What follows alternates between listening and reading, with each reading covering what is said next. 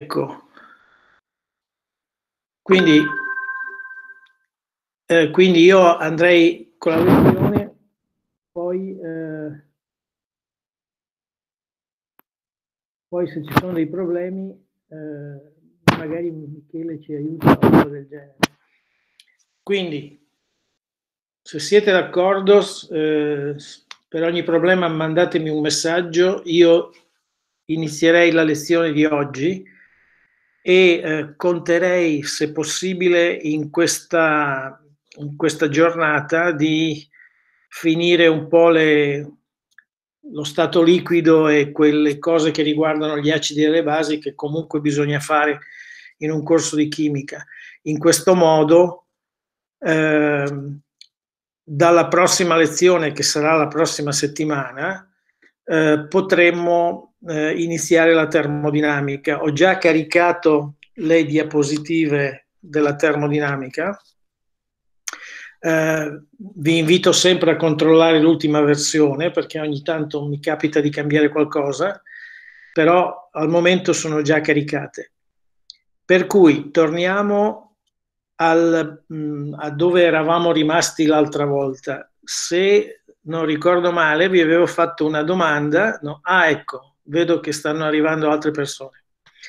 Eh, vi avevo fatto una domanda, non so se avete provato a rispondere o semplicemente lo sapevate già. Eh, a che temperatura bolle avevamo ricordato che cos'è l'evaporazione, no? E la, l'ebollizione. E avevo chiesto, ma secondo voi a che temperatura bolle l'acqua all'interno di un recipiente ermeticamente chiuso? Una pentola a pressione senza valvola, tanto per intenderci. Ecco, proviamo a rispondere a questa domanda ricordando queste cose.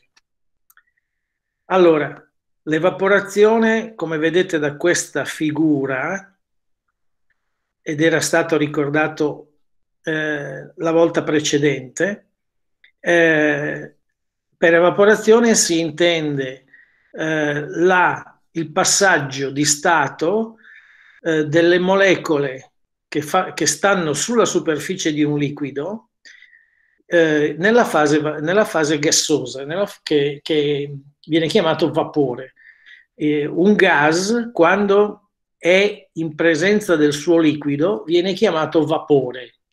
Se invece es- esiste solo la fase gassosa, allora si parla di gas, questo è storico insomma. Mentre se il gas è con- in presenza contemporanea della sua fase liquida, allora si parla di vapore. Vabbè, tanto per intenderci. Quindi, se voi prendete un recipiente, ok? Quindi sto parlando dell'evaporazione. Prendiamo un recipiente, ci mettiamo dentro un liquido, mm, facciamo conto l'acqua. Chiudiamo il recipiente, chiudiamo il recipiente in modo che non ci sia alcuna fuga di gas, alcuna fuga di vapore. Che cosa succederà?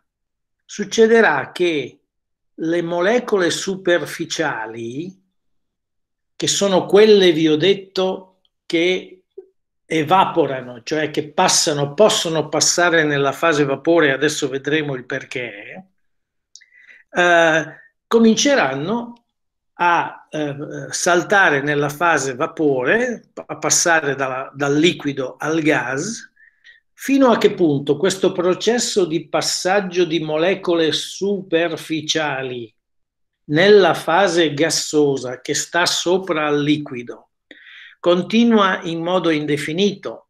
Ovviamente no, perché il recipiente è chiuso. Se fosse aperto continuerebbe in modo indefinito. E infatti se voi avete un bicchiere d'acqua e lo lasciate aperto eh, sul, sul tavolo, il giorno dopo di acqua ce ne sarà molto di meno. Ma quello è aperto, la pressione esterna e quella atmosferica rimane costante. Invece, se voi eh, chiudete il recipiente, che cosa succede? Succede che a un certo punto l'evaporazione si ferma, ossia il numero di molecole che resta nella fase vapore, cioè nella fase gassosa, rimane costante. E, e, e, naturalmente lo stesso vale per le molecole che restano nella fase acquosa.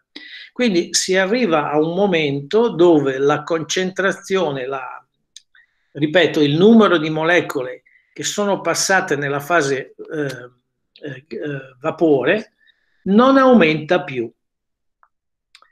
Eh, si dice che il sistema ha raggiunto l'equilibrio. Vi invito a sottolineare questa parola che abbiamo già trovato per i gas ideali.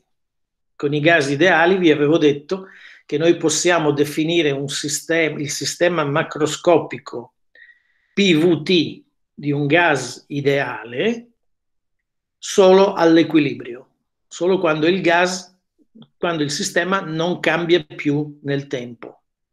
Qui è la stessa cosa si dice che quando le concentrazioni delle molecole in fase vapore e delle molecole nella fase liquida rimane costante, non cambia più, il sistema ha raggiunto l'equilibrio. Benissimo. Ora, le molecole che stanno nella fase gassosa sono un gas e quindi eserciteranno una pressione come abbiamo detto la volta scorsa, per i gas ideali, per tutti i gas naturalmente. Quindi la pressione sarà la stessa sia contro le pareti, sia contro la superficie del liquido, sia contro il, il, il coperchio, diciamo, quello che tiene chiuso il contenitore.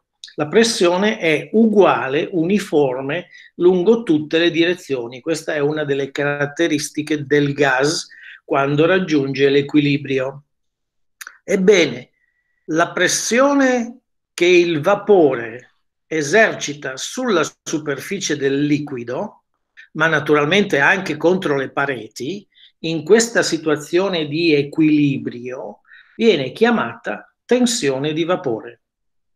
Quindi quando sentite parlare di tensione di vapore non si tratta altro che della pressione esercitata dal vapore in equilibrio con il suo liquido in un recipiente ermeticamente chiuso.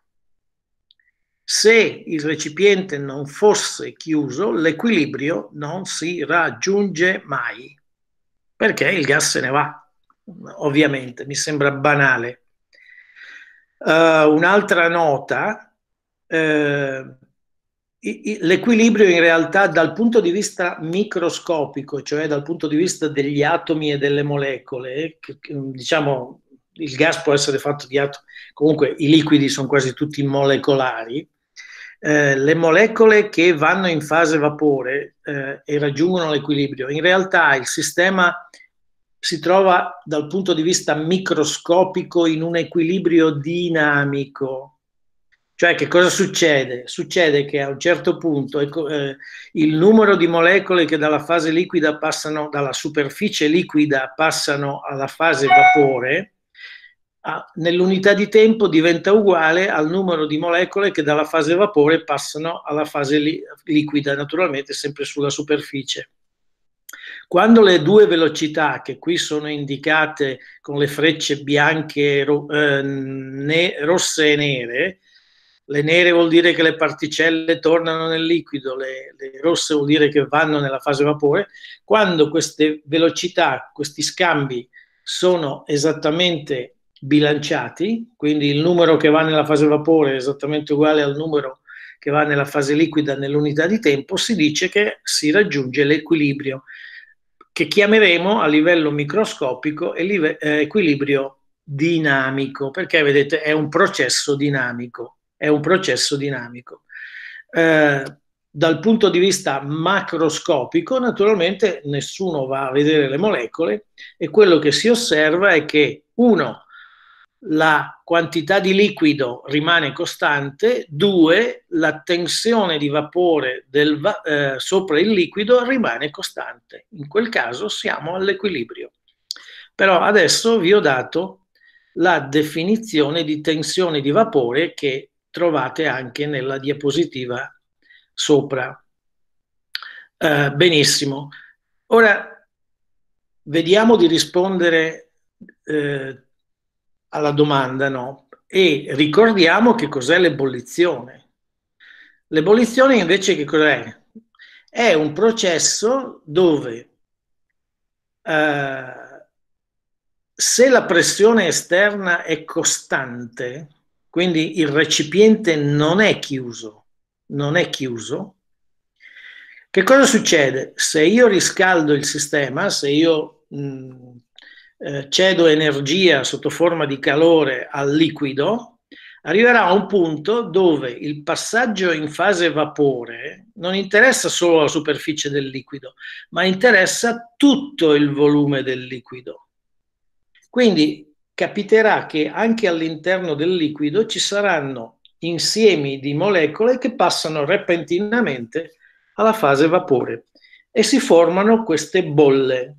Naturalmente sono bolle sferiche, dicevamo la, la, nell'ultima lezione, perché esiste la tensione, come si dice, eh, la viscosità del liquido, la tensione superficiale del liquido fa sì che la sfera sia la, la, la configurazione più a minore energia, ma non entriamo in questi dettagli.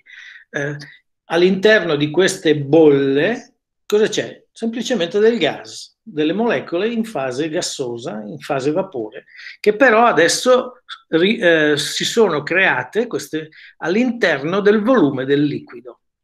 Il recipiente, ripeto, è aperto. Le bolle poi siccome sono più leggere, la densità è più leggera del liquido, eh, risalgono alla superficie e poi il gas se ne va nel, nell'atmosfera e avete il fenomeno dell'ebollizione. Ripeto, la pressione esterna è costante, la pressione esterna è quella magari atmosferica e il recipiente è aperto. Questa è semplicemente l'ebollizione. Benissimo. A questo punto do- dovremmo essere in grado di rispondere alla domanda che vi ho fatto. Uh, torniamo al, al, scusate, devo mettere le diapositive a pagina singola, eccola qua. Uh, torniamo al sistema chiuso. Torniamo al sistema chiuso. Allora, alla domanda, benissimo. Uh, Può bollire l'acqua all'interno di un sistema chiuso? Può bollire un liquido all'interno di un sistema chiuso? Eh, guardo se ci sono... Non so se avete risposto, eh, non, non, sto qui a, a chiedervi di, di, di, tentare di rispondere. Eh, ripeto, forse lo sapete già, la risposta è no. In un recipiente chiuso l'acqua non bolle mai in una pentola a pressione, finché la valvola di scarico, che è la valvola di sicurezza, in modo tale per, per non far scoppiare la pentola naturalmente, ma se quella valvola fosse ermeticamente chiusa e la pentola a pressione sufficientemente solida da resistere a, a, all'aumento di pressione, quindi non scoppia, all'interno di quella pentola la, l'acqua non bollirà mai. Per quale motivo? Eh, il motivo è molto semplice. Continuando a, la, continuando a riscaldare, quindi io sto, sto eh, cedendo calore continuamente al mio sistema. Quindi questo, questo contenitore immaginate che si trovi sopra una sorgente di calore. È tutto chiuso. Che cosa succederà? Succederà che le molecole superficiali riceveranno in continuazione sempre più energia. Quindi ci sarà un passaggio, eh, no, no, mano a mano che io eh, aumento la temperatura, il sistema non si troverà più all'equilibrio. E allora per raggiungere un nuovo equilibrio ci sarà un numero di molecole che dalla superficie passerà un numero maggiore di molecole che dalla superficie passerà alla fase vapore. Eh, perché? Però saranno sempre solo le molecole superficiali. Perché le molecole superficiali sono quelle che possono passare alla fase vapore e non quelle che stanno dentro al liquido, quando il recipiente è chiuso, per un motivo molto semplice, perché le forze che devono vincere le molecole superficiali per passare nella fase vapore sono molto minori di quelle che devono vincere le molecole che si trovano all'interno del liquido.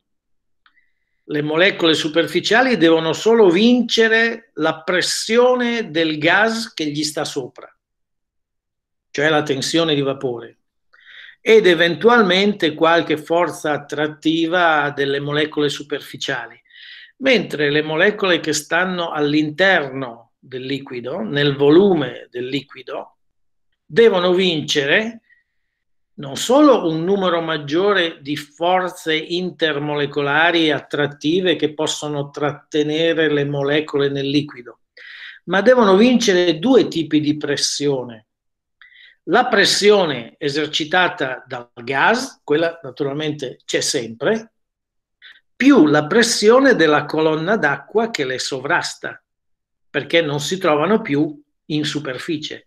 Quelle in superficie non hanno nessuna colonna d'acqua che le sovrasta, mentre quelle che si trovano nel volume della soluzione hanno una certa quantità d'acqua liquida che gli sta sopra e quella esercita una pressione e quindi devono avere sufficiente energia per vincere anche quella pressione. Quindi le molecole che stanno nel liquido, nel volume del liquido, hanno bisogno di più energia di quelle superficiali per passare in fase vapore. Ora, quando il recipiente è chiuso, le molecole che stanno nel volume non potranno mai raggiungere quell'energia per passare in fase vapore. Per quale motivo? È molto semplice. La tensione di vapore è in continuo aumento perché io sto scaldando, il sistema non raggiunge mai l'equilibrio e quindi la tensione di vapore del gas che sta sopra il liquido è in continuo aumento, perché il riscaldamento fa sì che un numero, nell'unità di tempo, il numero di molecole che passa nella fase vapore sarà sempre maggiore del numero di molecole che eventualmente tornano nella fase liquida proprio perché io sto scaldando, quindi sto cedendo energia alle molecole superficiali.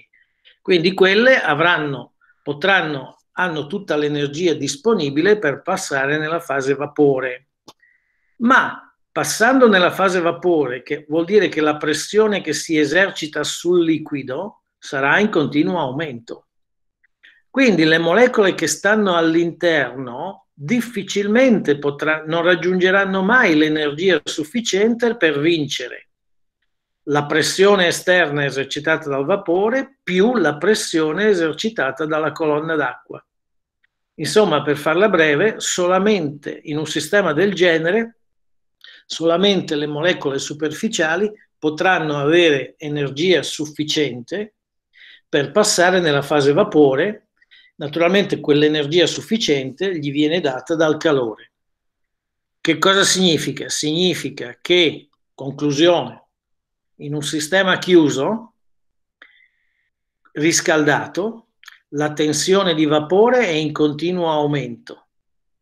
Quindi non si raggiungerà mai la condizione dell'ebollizione. Perché?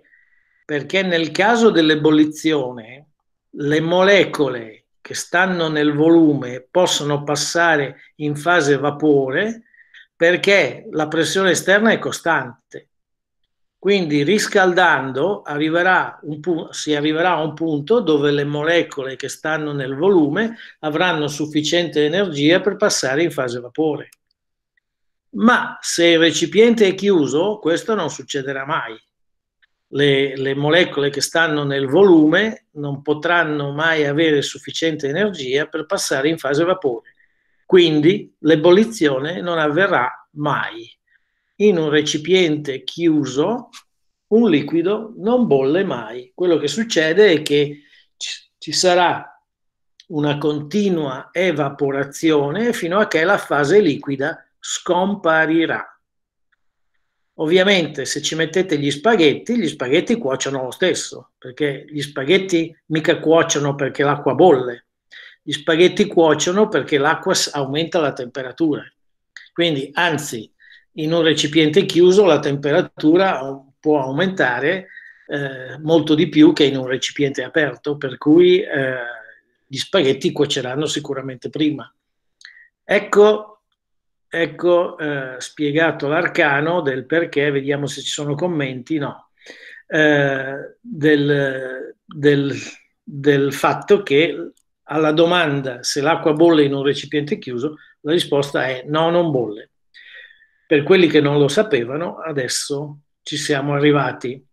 Quindi abbiamo parlato di ebollizione e di evaporazione, un cenno ai diagrammi di stato, questi sono importanti, il concetto di diagramma di stato è importante per i fisici, perché, soprattutto per quelli che faranno fisica della materia, eh, per cui introduciamo questo concetto. Intanto vado indietro per vedere, sì abbiamo fatto tutto, il, il concetto di eh, diagramma di stato è co- collegato al, al, agli argomenti sulle transizioni di fase che abbiamo fatto la volta scorsa, cioè i passaggi di stato fra, stato, fra i vari stati della materia.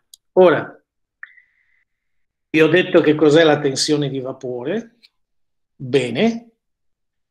Allora, cos'è un diagramma di stato?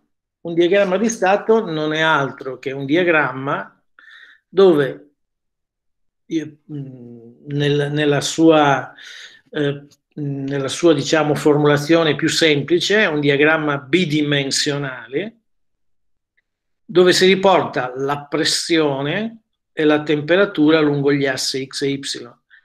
Um, questo che vedete nella figura è il diagramma di stato dell'acqua. Forse avrei dovuto scriverglielo. Uh, il diagramma di stato dell'acqua è uno dei più complessi, è uno dei più uh, interessanti. L'acqua abbiamo già capito che è uno dei liquidi più strani che esistano in natura, eh, anche se noi, per noi eh, siamo abituati all'acqua, però in realtà dal punto di vista chimico-fisico abbiamo già visto che l'acqua ha delle proprietà veramente uniche. Eh, per, vi descrivo brevemente eh, come fatto. Che cosa si riporta lungo queste curve, i punti che stanno su queste curve, che cosa rappresentano? Allora, la pressione che vedete elencata, che vedete sull'asse Y, è nient'altro che la tensione di vapore. Eh, il, I punti che stanno lungo le curve, le curve in verde, rosso e blu, sono i punti di equilibrio, cioè quel famoso equilibrio che vi ho fatto vedere quando vi ho spiegato la tensione di vapore. Eccolo qua. Cioè a dire, prendete il ramo blu di questo diagramma, vedete che si va da un punto che viene chiamato punto triplo, poi c'è un ramo di curva che arriva fino a un punto critico, di cui adesso vi dico che cos'è, che cosa sono i punti che stanno su questo, su questo ramo di curva? Sono nient'altro che i punti che corrispondono all'equilibrio fra la fase liquida e la fase vapore. Quindi i valori di pressione che io leggo lungo questo ramo di curva in blu non sono altro che i valori della tensione di vapore. Quando il sistema è caratterizzato da questa coppia di valori di pressione e di temperatura, è in equilibrio, esiste un equilibrio fra la fase liquida e la fase vapore. Ok? Quindi i rami di queste curve, i rami di queste curve rappresentano punti di equilibrio. Il ramo blu rappresenta l'equilibrio fra il vapore e la, eh, l'acqua liquida e l'acqua gassosa. La curva tratteggiata, che è quella che riguarda il diagramma di stato dell'acqua, lo, lo riprenderemo nella prossima diapositiva, l'altra curva verde è invece una curva che riguarda un liquido qualsiasi, mentre il, nel caso dell'acqua avete quella specie di retta tratteggiata. Ebbene, tutti i punti che stanno su quella retta no, rappresentano un equilibrio fra il liquido e la fase solida. Ok? La, la curva in rosso invece rappresenta l'equilibrio fra la fase solida, il ghiaccio per esempio, e il vapore. Quando il sistema è caratterizzato dalla coppia di punti che individuano un un punto qui dalla coppia di coordinate PT che individuano un punto sulla, eh, sulla mh, curva rossa, vuol dire che il vostro sistema si trova in un equilibrio dove avete la presenza del solido e del gas, ma non del liquido.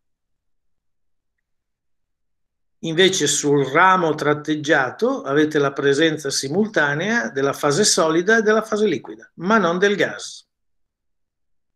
Stessa cosa dicasi sulla parte blu. Quindi quelli rappresentano punti di equilibrio. Al di fuori di, quei, di quelle curve, i punti rappresentano un'unica fase, un'unica fase.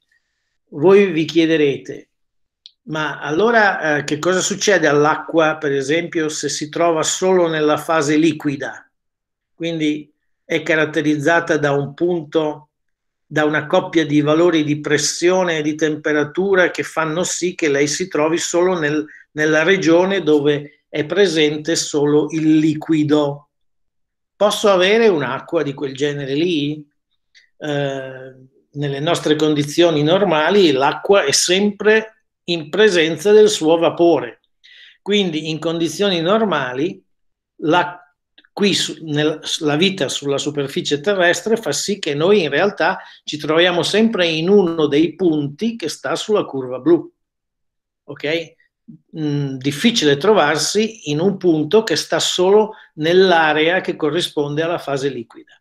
Questo per una ragione molto semplice. Eh, quando il sistema si trova in una, in una di queste aree, per esempio nella fase, solo la fase liquida, solo la fase vapore, solo la fase solida, non è in equilibrio. Quindi il sistema, lo faremo in termodinamica, in genere tende a raggiungere uno stato di equilibrio. Tende a raggiungere uno stato di equilibrio. Eh, quindi eh, sulla, sulla, superficie terrestre è difficile osservare eh, una fase, eh, una, un campione d'acqua che è solo liquida, o un campione d'acqua che è solo solida. Eh, però, a tempera- però, a temperature molto basse voi sapete che si può avere semplicemente solamente eh, ghiaccio, ma bisogna andare a temperature molto basse, quindi, eh, quindi mh, sulla superficie terrestre questi, questi, queste condizioni sono, non si realizzano in, ge- in generale non si realizzano. Anche al Polo Nord i ghiacci del Polo Nord sono in equilibrio con il loro vapore. Uh, più facile invece capire che comunque si può giungere a un punto dove la, l'acqua compare solo nella fase gassosa, vedete, oltre la temperatura critica. Benissimo, quindi ho cercato di chiarirvi che il significato fisico dei punti che stanno lungo le curve. Uh, andiamo, ecco, qui uh, vi ho ripulito il diagramma precedente per farvi vedere com'è il, il, il diagramma di stato dell'acqua. Uh, quel, la figura precedente era in realtà la sovrapposizione di due tipi di diagrammi dell'acqua e di un liquido generico. Era solo per farvi vedere la differenza che esiste fra un liquido generico, per esempio alcol, o che so io, qualunque altro eh, tipo di liquido, e l'acqua. C'è una notevole differenza. Vedete, la, il ramo della curva in verde, che corrisponde all'equilibrio solido-liquido, è completamente differente per gli altri liquidi rispetto all'acqua. Per l'acqua ha un andamento quasi rettilineo, mentre per gli altri liquidi è una curva più complessa. Tornando all'acqua liquida, qui si vede ancora bene, meglio, che differenza esiste fra l'acqua e gli altri liquidi. Per gli altri rami di curva, torno indietro, vedete che il comportamento è più o meno simile. Ma per quello che riguarda l'equilibrio fase solida, fase liquida, l'acqua ha un comportamento unico. Ecco perché ho, vi ho fatto vedere eh, subito eh, un diagramma dove ho sovrapposto il diagramma di stato dell'acqua a quello di un liquido generico. Di un liquido generico. Eh, mm, è, è, utile spendere due parole sul, sull'acqua eh, per, dire, per spiegare questo strano comportamento.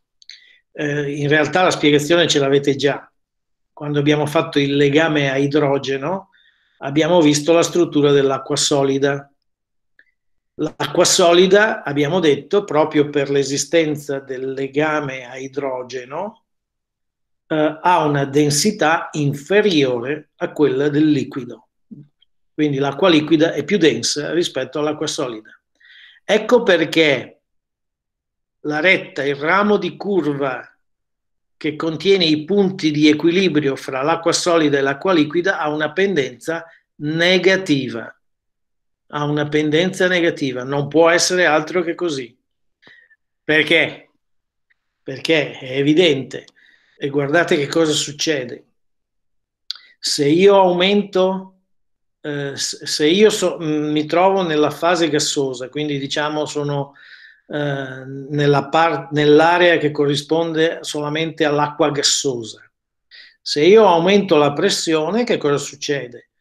Dalla, parto da un punto qua, no? vado su, aumento la pressione, vedete che l'aumento di pressione favorisce la transizione dalla fase gassosa alla fase liquida. Salite, salite nel diagramma e trovate che un aumento di pressione favorisce la fase liquida. Quindi se io prendo il gas acqua e lo comprimo, prima o poi vedrò comparire del liquido. Facciamo la stessa cosa invece al di sotto del punto 0.01 gradi centigradi. Allora, che cosa faccio? Aumento la pressione e sono in fase gassosa. Siccome la temperatura è piuttosto bassa, se continuo ad aumentare la pressione passo nella fase solida. Benissimo, ci, stia, ci, ci sta.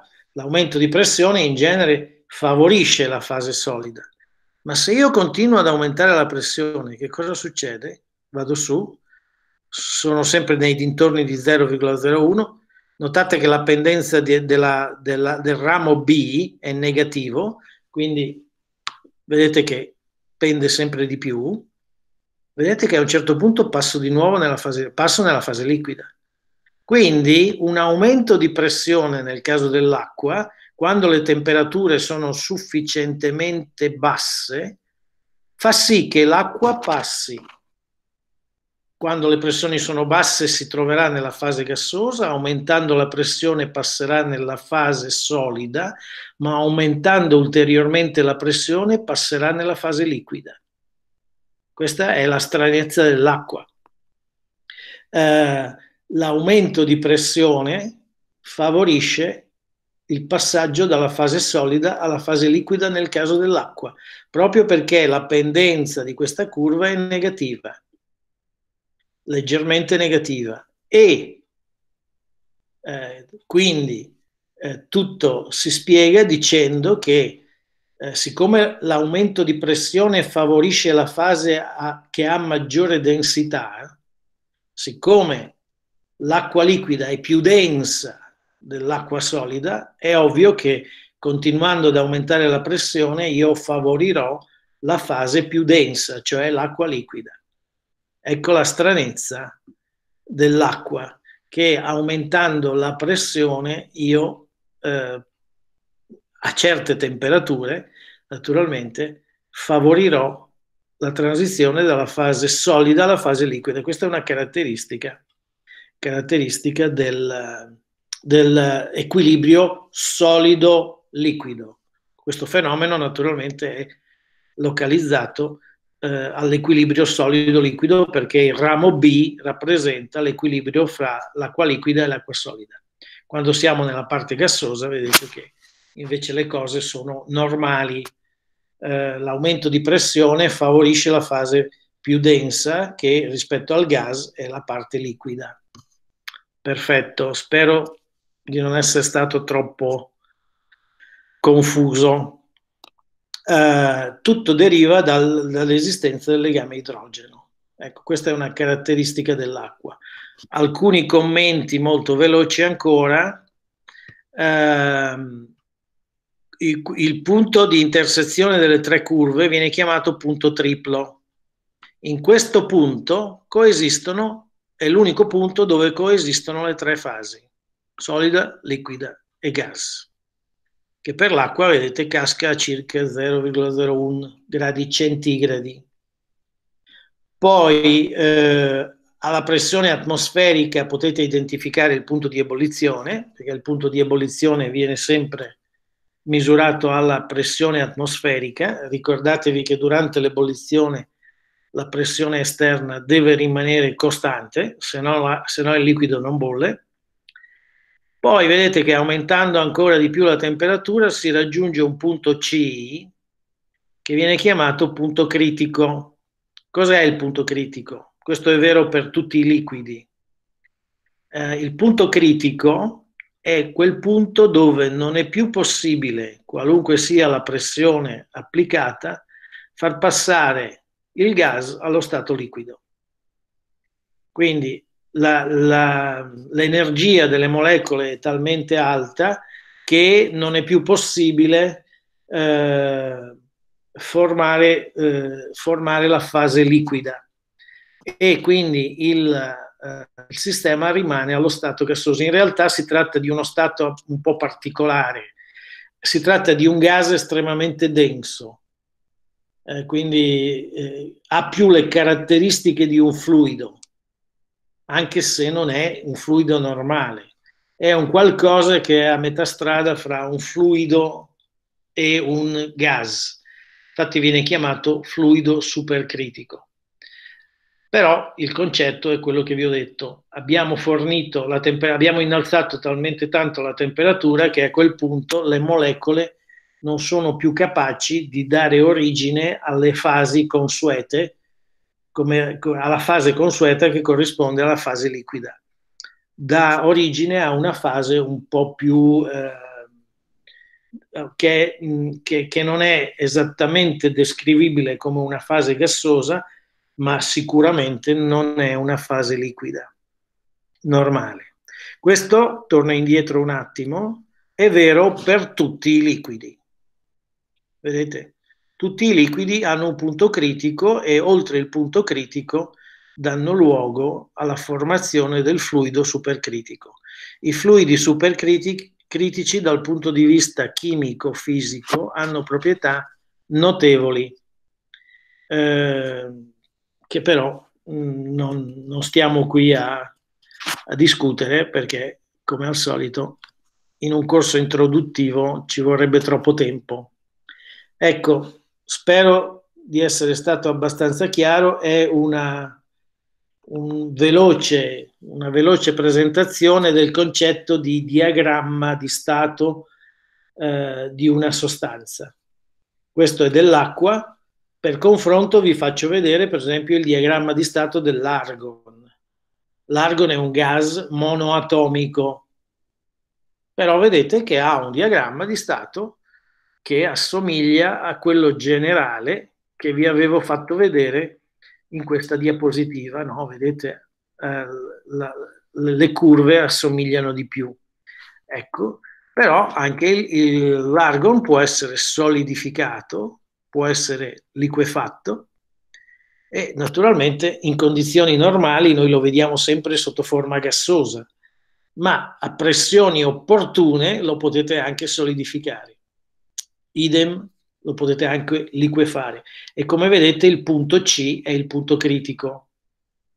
Naturalmente gli intervalli P e T in cui queste cose accadono per l'argon sono completamente diverse, diversi da quelli dell'acqua, per ovvi motivi. L'argon è una sostanza completamente diversa.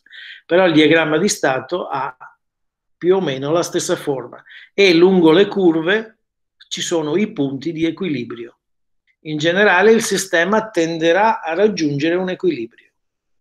Dipende, dalle condizioni esterne, ma se il sistema è lasciato a se stesso, in genere tenderà a raggiungere l'equilibrio, uno dei punti dell'equilibrio.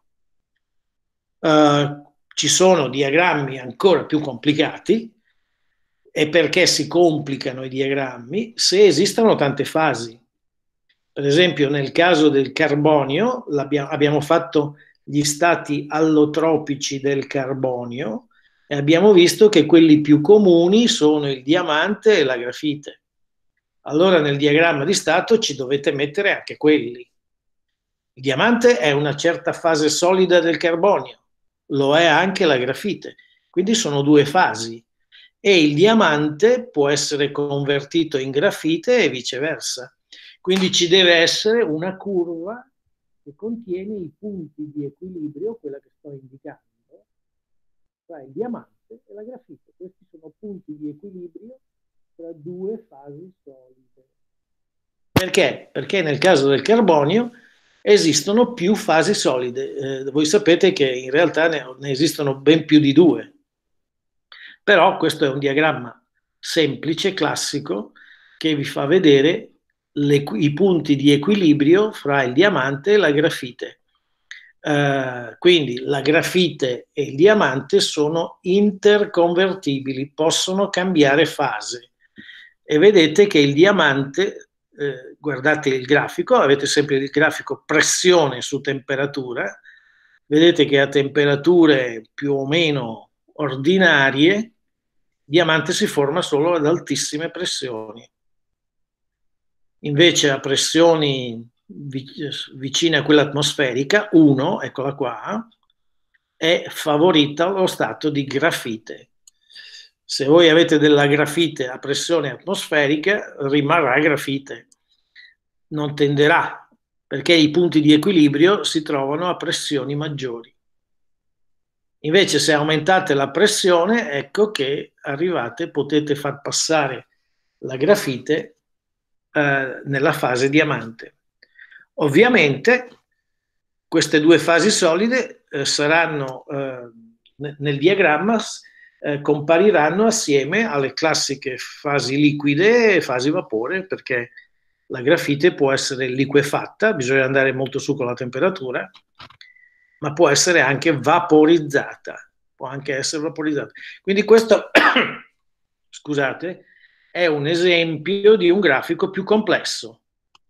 Graf- di, la complessità aumenta quando aumentano il numero di fasi, il numero di fasi, in particolare di fasi solide. Uh, se voi pensate, parlo ai fisici, che abbiamo anche la fase superconduttiva oggi, cioè quella fase dove il materiale può condurre la corrente elettrica senza resistenza, senza opporre nessuna resistenza. In genere queste fasi uh, si formano a basse temperature. Oggi, oggi, siamo intorno a, siamo arrivati a meno 150 gradi. Um, per, per, poter cominciare a vedere la fase superconduttiva, è chiaro che quando farete fisica dello stato solido e parlerete di superconduttori, all'interno di un diagramma di fase ci dovrà stare anche la fase superconduttiva, per dirvi come le cose possono diventare molto più complicate. Noi naturalmente ci fermiamo qua, vediamo, non ho altri esempi e spero che sia chiaro quello che interessa a me è semplicemente comunicarvi il concetto di diagramma di stato. Tutto qua. E il significato delle curve che voi vedete sul diagramma di stato. Sono le curve dove si trova l'equilibrio fra le due fasi. È chiaro che si raggiunge l'equilibrio solo se le, le, le coppie P e, v, P e T eh, coincidono con uno dei punti che stanno sulle curve. Mi sembra che il concetto sia abbastanza semplice. Eh, il trattamento, il trattamento, come dire, matematico di tutte queste cose naturalmente è più complesso, ma noi non lo faremo.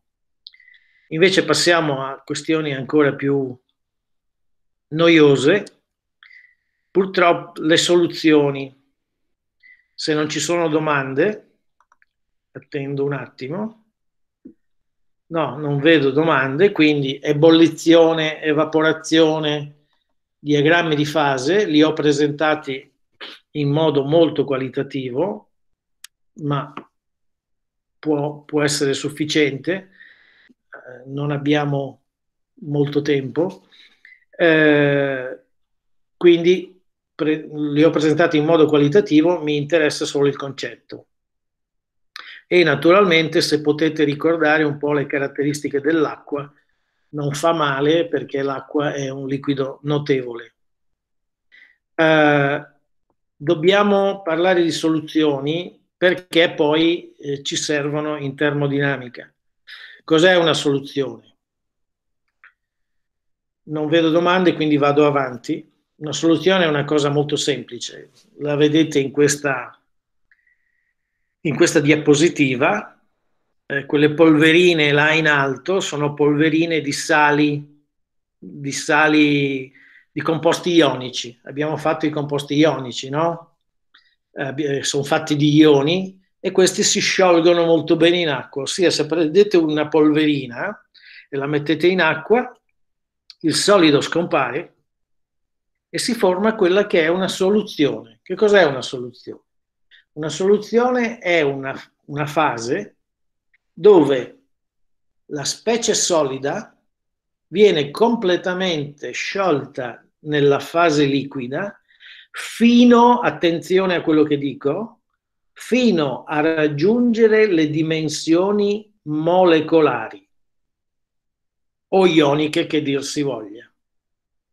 Non si può parlare di soluzione se quello che sciogliete nella fase liquida non si scioglie a tal punto da raggiungere le dimensioni molecolari, cioè dentro alla soluzione ci devono essere delle molecole o ioni liberi di muoversi nel volume della soluzione. Ecco perché sono limpide, vedete che sono colorate ma limpide.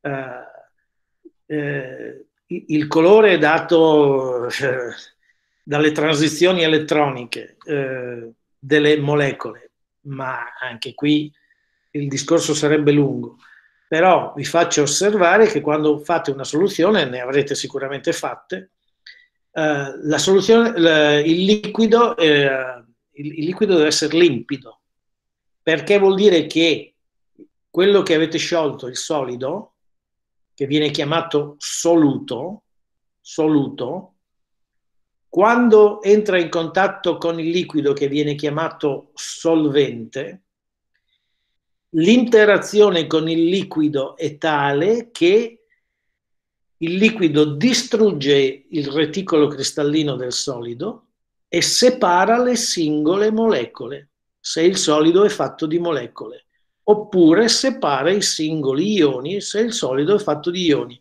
Per esempio in questa, questa diapositiva tutte quelle polverine lì sono composti ionici, che si sciolgono molto bene, non tutti, si sciolgono molto bene in acqua. Quindi eh, il chimico in, nel laboratorio, almeno noi quando facevamo i laboratori dei primi anni, ci divertivamo a tutti, a ottenere tutti questi colori sciogliendo questi sali. Ecco il concetto di soluzione.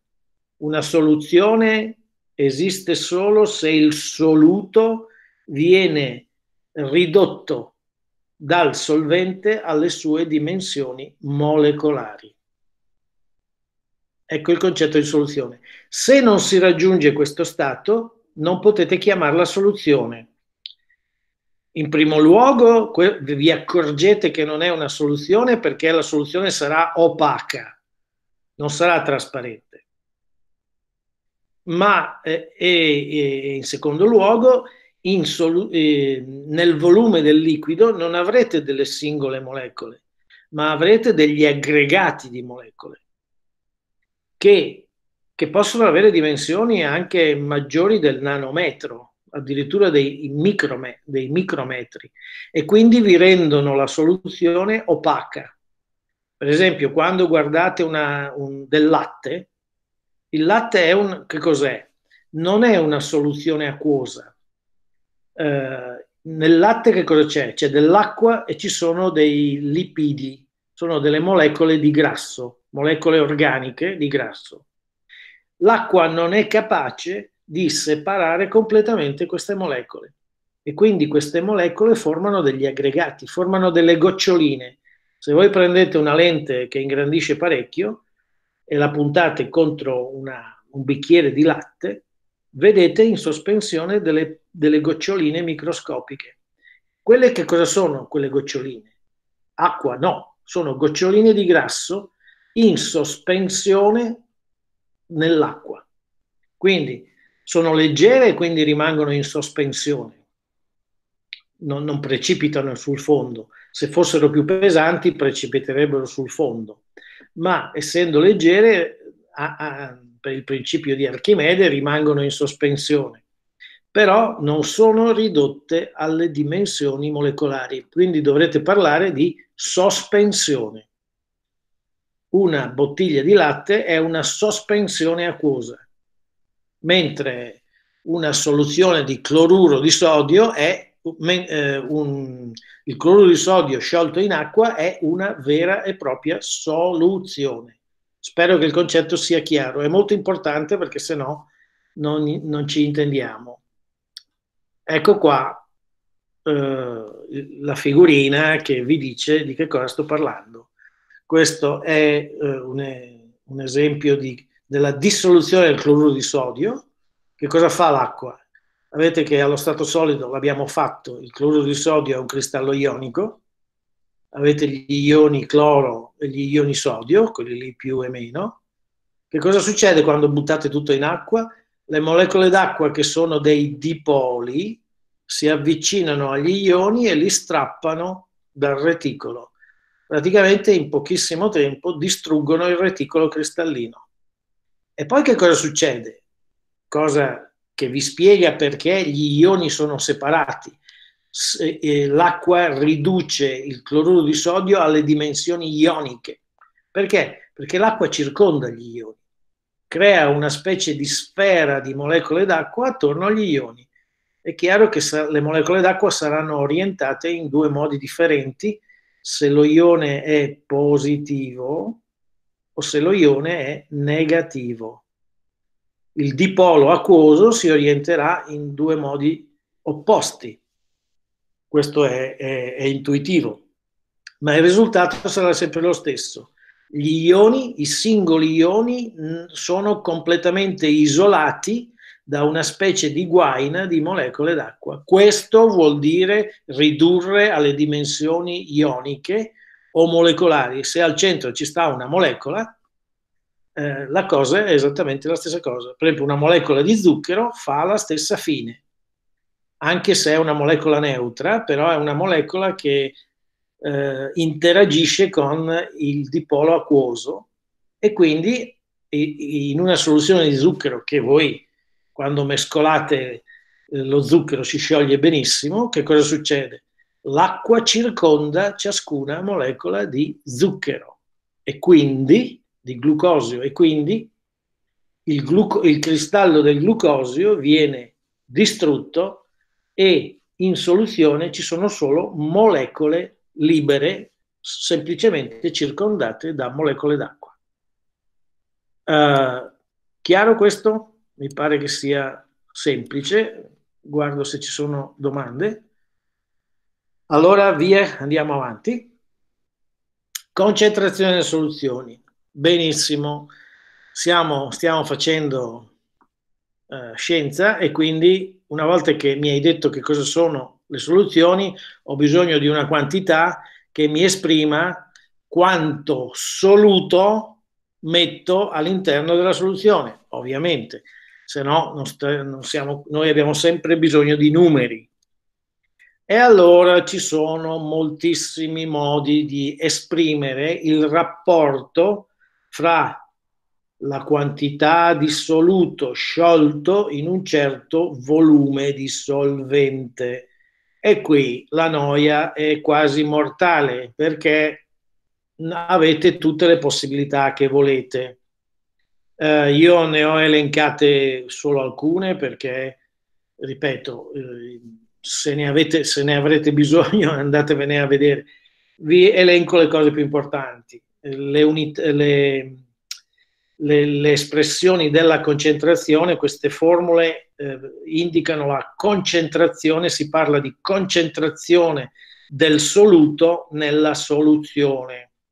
Quindi vi sto facendo vedere alcune formulette che vi danno, vi permettono di esprimere, di darvi un'idea quantitativa di qual è il rapporto fra il soluto, la quantità di soluto e la quantità di solvente nella soluzione. Allora, eh, potete esprimerla in percentuale in volume e lo vedete scritto lì. Eh, se il volume, eh, il, è chiaro che volume del soluto vuol dire che il soluto a sua volta è un liquido. Per esempio, una, una grappa è una soluzione acquosa di alcol. L'alcol, eh, l'alcol puro è liquido quindi potete parlare, questa percentuale in volume vale solo per soluzioni liquido-liquido. Però eh, quelle più comuni sono solido-liquido. E allora ecco che avete la percentuale peso-volume. Veramente mi, sembra di, mi sembrerebbe di annoiarvi eh, a discutere queste formule che mi sembra siano completamente ovvie. Vedete nel secondo caso eh, ci sono delle convenzioni che quando vengono definite queste formulette eh, si decide se usare, se esprimere il volume in millilitri o in litri, litri che vuol dire anche decimetri cubi, sono pure convenzioni. Salto invece alle espress- all'espressione delle concentrazioni più importanti, quelle che useremo di più, che sono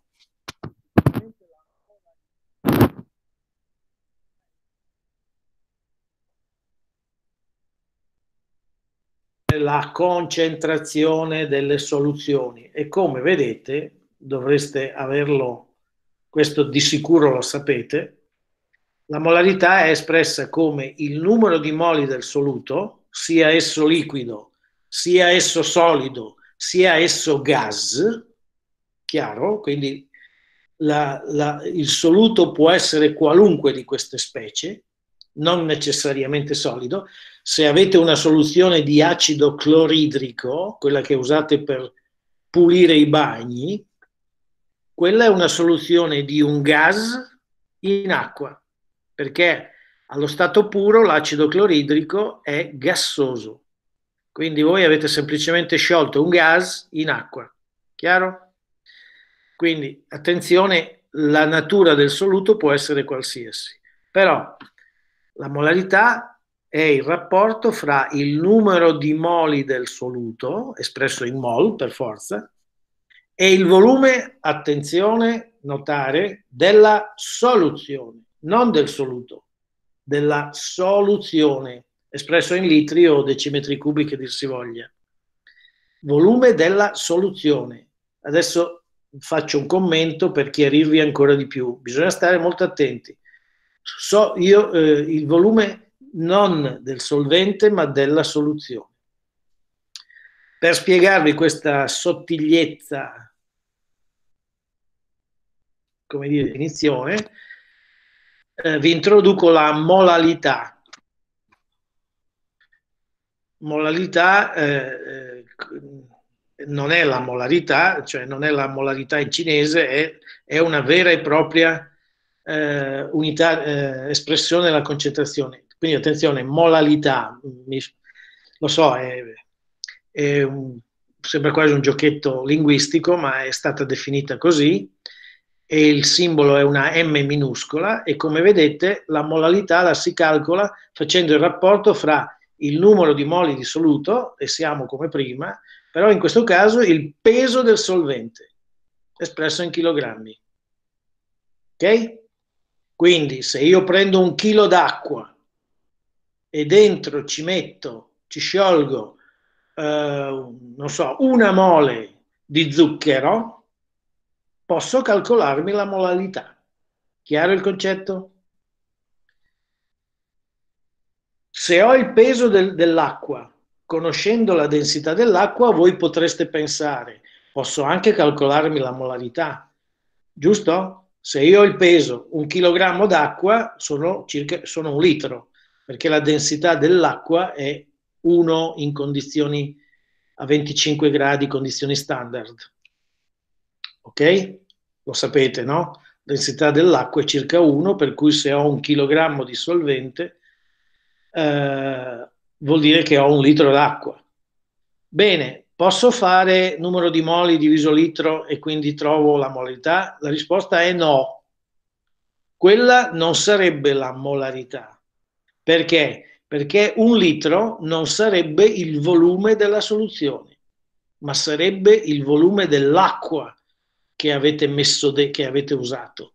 Cioè l'acqua pura che avete preso, quella era un litro ma quando ci mettete dentro il soluto,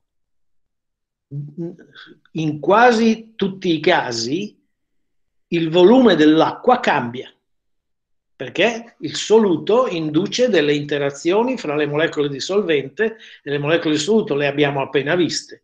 E quindi quel volume che, di acqua pura che era un litro, quando ci mettete dentro il solvente non è più un litro e quello è il volume della soluzione. Il volume della soluzione è il volume del solvente quando da, ci sta già dentro il soluto, che non è mai uguale al volume del liquido puro.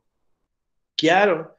Ecco perché è importante sottolineare volume della soluzione. Spero che sia chiaro questo concetto. Provo a chiarirvelo ancora di più Tecnicamente, praticamente, che cosa vuol dire questo? Vuol dire che se preparate una soluzione molale, lo dovete fare con una procedura che è completamente differente da quando volete invece preparare una soluzione molare. Cosa vuol dire? Volete preparare, vi interessa solo la molalità? Non dovete fare altro che prendere un certo peso di solvente puro, pesare una certa quantità di soluto e conoscendo poi la massa molare troverete il numero di moli e poi li mescolate. Agitate, sbattete, fate quello che volete finché ottenete una soluzione bella limpida. Questo è il modo per fare una soluzione molale. Fate questo rapporto e trovate la molalità se non potete seguire questa procedura per, per fare una soluzione molare.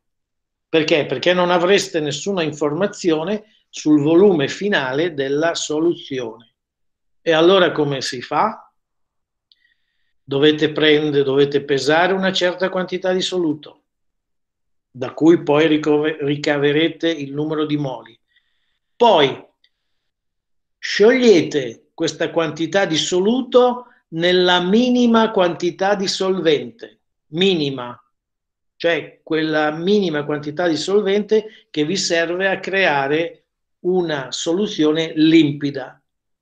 Poi aggiungete solvente fino a raggiungere il volume che volete.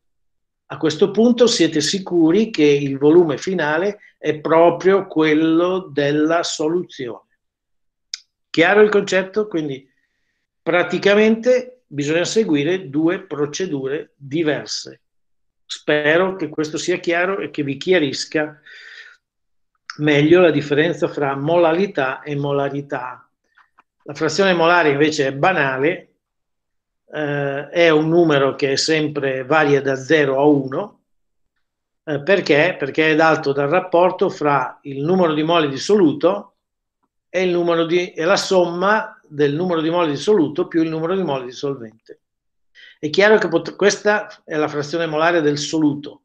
Potreste divertirvi anche a calcolare la frazione molare del solvente, che sarà data dal numero di moli di solvente diviso la somma delle moli del soluto e del solvente.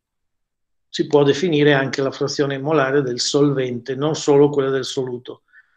Uh, il, è, è, evidente che data la definizione questo, questa frazione può variare solo da 0 al massimo fino a 1.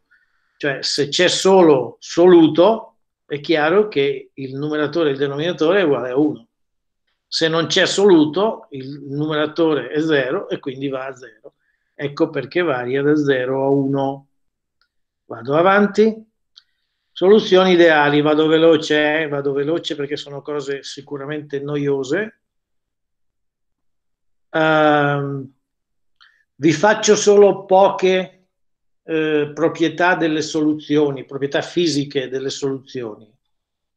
Uh, vediamo se ci sono domande. No. Vado avanti. Allora, pochissime proprietà rilevanti delle soluzioni fisiche, perché eh, quelle che interessano ai fisici. Eh, allora, una prima eh, proprietà è naturalmente, la prima domanda è chiedersi eh, quando metto del soluto dentro un liquido puro, che cosa capita alla tensione di vapore del liquido puro, che non è più puro perché ci ho messo il soluto? Uh, questa è una domanda ovvia eh, e eh, il, la tensione di vapore l'abbiamo appena fatta. Ecco, mi dispiace per chi non conosceva la tensione di vapore, adesso eh, subito eh, la uso, la sto usando, eh, lo so, eh, per cui provate un po' a, a ricordarvi cosa abbiamo appena detto sulla definizione di tensione di vapore, è la pressione che si instaura quando, eh, la pressione che si misura quando si instaura l'equilibrio liquido-vapore in un recipiente chiuso, mi raccomando. Ecco, stiamo parlando di quella. Che cosa succede se nel recipiente ci sbatto dentro anche un soluto? Ebbene, chi ci diede la risposta, anche questa facendo degli esperimenti, fu il signor Raoult, il quale elaborò questa legge che è molto semplice e ci dice che la tensione di vapore di, del, di una soluzione, del liquido in una soluzione, sarà uguale esattamente al prodotto della eh, tensione di vapore del liquido puro, P0I, per la sua frazione, per la frazione molare del soluto eh, scusa, scusate, per la frazione molare del liquido puro. Eh, del liquido, scusate. Naturalmente questa formula si applica, si applica se eh, sto parlando di soluti non volatili, cioè praticamente il contributo alla tensione di vapore proviene solo dal solvente per esempio una soluzione acquosa di cloruro di sodio. Torniamo al cloruro di sodio. Siccome il cloruro di sodio è fatto di ioni, quelli mica volano, non possono andare in fase vapore, è impossibile, i, fisici lo sanno bene, che gli ioni non possono, salvo nelle condizioni di plasma, però nelle condizioni normali mica, mica si comportano da gas, quindi se ne stanno in soluzione. La tensione di vapore sarà solo dovuta alle molecole d'acqua che passano in fase vapore. Questa è la situazione che viene descritta come una soluzione che contiene un liquido non volatile.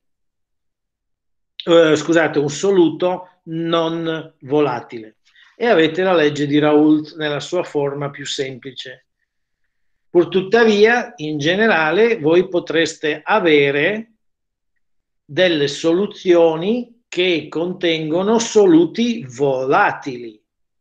Cioè che possono passare alla fase vapore. Per esempio, ritorno al caso della grappa, quella è una soluzione dove avete sciolto in acqua, che è un, un solvente volatile, un soluto volatile, che è l'alcol. Quindi entrambi possono passare in fase vapore. Giusto? Non, non si scappa. Se il soluto non è volatile, la situazione è molto semplice. Ma se anche il soluto è volatile, allora eh, anch'esso contribuisce alla tensione di vapore totale PT, la quale sarà per la legge di Dalton ovviamente la sommatoria, la somma di tutte le pressioni P che vengono chiamate pressioni parziali. Quindi la pressione, il contributo alla pressione totale del soluto iesimo volatile, dell'alcol per esempio, è data dalla formula di Raoult, dove, ripeto, PI0 sarebbe la tensione di vapore quando il soluto è puro, praticamente è una sostanza pura, alcol puro. D'accordo? XI invece è la frazione molare dell'alcol quando si trova nella soluzione assieme all'acqua. Ecco il significato di questo prodotto. Benissimo, se avete un numero n di soluti volatili, il contributo alla pressione totale è dato proprio da questa formula. Mi sembra che, spero sia tutto chiaro, vi faccio, ok? Quella formula lì è di derivazione della legge di, di Dalton. Eh, miscele di gas, la pressione totale è la somma delle pressioni parziali. Bene, faccio l'esempio più semplice di una soluzione con due componenti, per esempio acqua-alcol, torniamo all'acqua-alcol, però potreste fare acqua-etere, l'etere è un altro liquido, molto volatile, no? Qualcuno avrà sentito l'odore dell'etere. Bene, ammettete di avere una soluzione acqua etere o acqua alcol, benissimo. Quale sarà la pressione totale? Sarà esattamente la somma dei due componenti, dove con A potremo indicare l'acqua e con B potremo indicare l'alcol. Naturalmente la somma delle frazioni molari dei due componenti sarà esattamente uguale a 1 per definizione di frazione molare. Uh, se riportate in grafico queste espressioni, vi trovate un grafichetto di questo genere dove sull'asse dell'y riportate le tensioni di vapore parziali dei componenti, per esempio l'acqua a sinistra e l'alcol a destra, e invece lungo la retta, lungo la retta che unisce i due assi, vedete, avete la somma, la pressione totale. Il ragionamento è semplicissimo, le linee verdi indicano come varia la tensione, le pressioni parziali, le tensioni di vapore parziali dei singoli componenti. Uh, quando avete solo acqua, andate sulla sinistra del grafico, è chiaro che sarà tutta acqua, per cui la frazione molare dell'acqua sarà esattamente uguale a 1, quella dell'alcol sarà perfettamente uguale a 0. Quale sarà la tensione di vapore della, del, del liquido? Sarà dovuto solo all'acqua e quindi sarà esattamente uguale alla tensione di vapore dell'acqua pura P0A. Giusto? Benissimo. Quando cominciate ad aggiungere soluto volatile, ossia l'alcol, che cosa succede? È chiaro che la frazione molare dell'acqua comincerà a calare, mentre comincerà a crescere quella dell'alcol. Quindi comincerà, il, comincerà ad aumentare la, il contributo della tensione, della pressione dovuta all'alcol, PB. mentre comincerà a calare il contributo della, ten- della pressione dovuta all'acqua, PA, le linee verdi. Vedete? Mano a mano che aumentate la concentrazione dell'alcol e diminuite quella dell'acqua, si arriverà all'estremo opposto dove avete solo alcol e quindi la frazione molare dell'acqua è zero e la frazione molare dell'alcol sarà esattamente uguale a 1. La pressione della tensione di vapore sopra il liquido, che in questo caso è solo alcol, sarà esattamente quella dell'alcol puro. I valori sulla linea nera sono esattamente la somma dei punti sulle linee verdi. Va bene, mi sembra che sia un giochetto semplice. Eh, questo diagramma, vediamo se ci sono domande. No. Questo diagramma, se spero sia chiaro, eh, vale come al solito perché è il destino della scienza, eh, nel caso ideale. Cos'è il caso ideale? Non si scappa, non, non, non, non è che, ci, che andiamo molto oltre quello che abbiamo detto per i gas. Una soluzione ideale è quella dove all'interno della soluzione non esistono interazioni, in particolare non esistono interazioni fra le molecole di soluto e le molecole di solvente, cosa che è paradossale, è, eh, è non vero fin dall'inizio.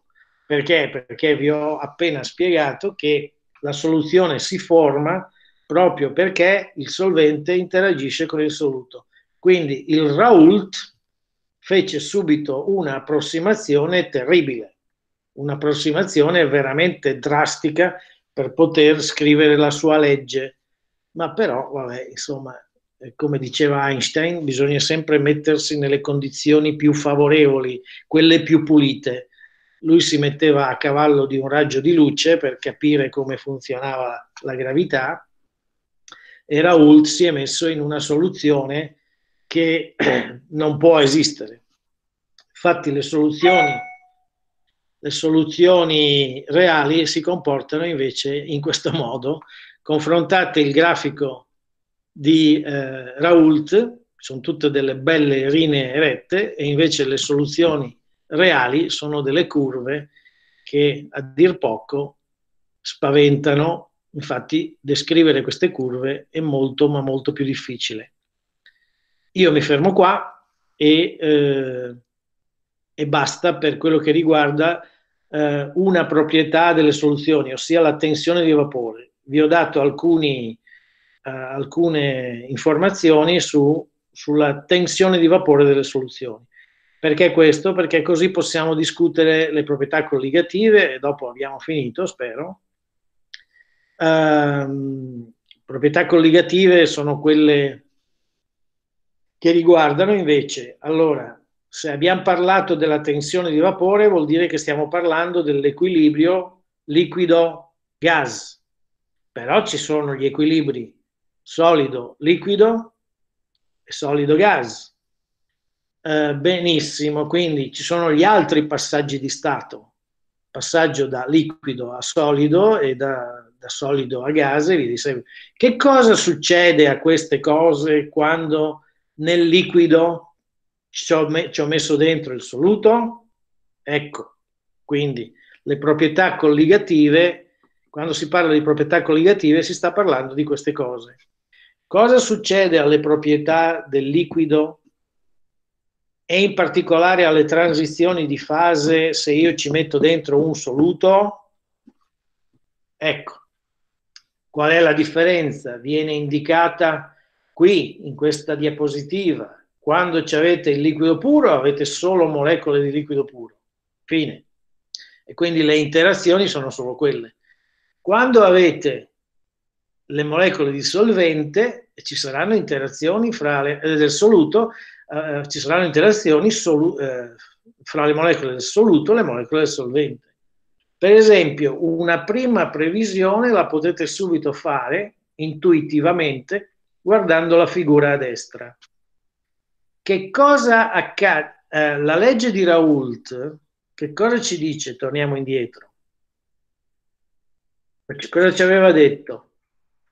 Se voi la guardate, la tensione di vapore quando sciogliete nel liquido un soluto non volatile, la tensione di vapore del liquido cala o aumenta? Chiaramente cala, perché XI, la frazione molare, è un numero che sta fra 0 e 1. Per cui la tensione di vapore del liquido quando ci avete messo dentro un soluto non volatile, la sto indicando, P sarà minore di P0. Giusto? La spiegazione la trovate qua. Vuol dire che quando il recipiente è chiuso, naturalmente, ci sarà un numero minore. Il, il soluto non può volare perché non è volatile però ci sarà un numero inferiore di molecole di solvente che va a finire in fase vapore. Perché? La spiegazione molto intuitiva è che uh, la superficie del liquido, perché quelle che evaporano sono solo le, le molecole superficiali, sarà in parte occupata anche dalle molecole del soluto, le quali non sono volatili. E allora statisticamente ci sarà un numero inferiore di molecole di solvente che saranno in grado di passare in fase vapore. Ecco, per, ecco la giustificazione della legge di Raoult.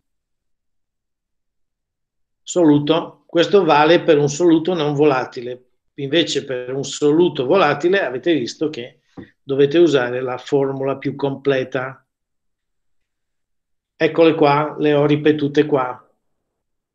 Vedete, eh, questo è il riassunto di quello che vi ho appena detto. Ve lo lascio un attimo sullo schermo, non è altro che quello che vi ho appena detto. E andiamo al secondo punto. Che cosa succede invece al punto di congelamento rispetto al liquido puro? Eh, l'acqua pura congela a una temperatura più alta, uguale o inferiore a quella di, della soluzione, sempre di un soluto non volatile.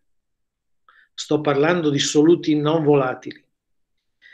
Uh, il, lo sapete bene perché d'inverno buttano il sale sulla strada, perché il punto di congelamento di una soluzione è inferiore a quello del liquido puro. Per la stessa ragione della, la spiegazione è la stessa di quella che abbiamo trovato per eh, la tensione di vapore, cioè la presenza del soluto interferisce con le molecole di solvente puro. In particolare, quando il solvente deve passare allo stato solido, cioè deve congelare, deve solidificare, la presenza delle molecole di soluto interferisce con la formazione del reticolo cristallino. Conclusione, dovete abbassare di più la temperatura per formare il solido. Mi sembra molto intuitivo e abbastanza noioso. Stessa cosa per l'ebollizione. Se la tensione, eh, se la tensione di vapore della soluzione si abbassa, ecco, torniamo ancora a questa figura che è quella centrale di tutto il ragionamento, se quando ho una soluzione contenente un soluto non volatile, la tensione di vapore del liquido diminuisce, perché vi ho detto ci, nella superficie esiste un numero inferiore di molecole di sol- solvente che possono evaporare, vuol dire che la tensione di vapore sarà più bassa. Quindi allo stesso modo la capacità di evaporare è diminuita. Questo farà sì che anche le molecole che si trovano nel volume della soluzione avranno meno tendenza a passare in fase vapore e quindi l'ebollizione anche qua sarà più difficile quindi per far bollire una soluzione dovete bollire a una temperatura superiore Naturalmente non dimenticate mai che quando state facendo, eh, quando state facendo bollire un liquido, la pressione esterna deve invece rimanere costante. Deve rimanere costante. Quindi quando bollite la pasta, ci avete messo dentro il sale, il punto di ebollizione dell'acqua è leggermente superiore.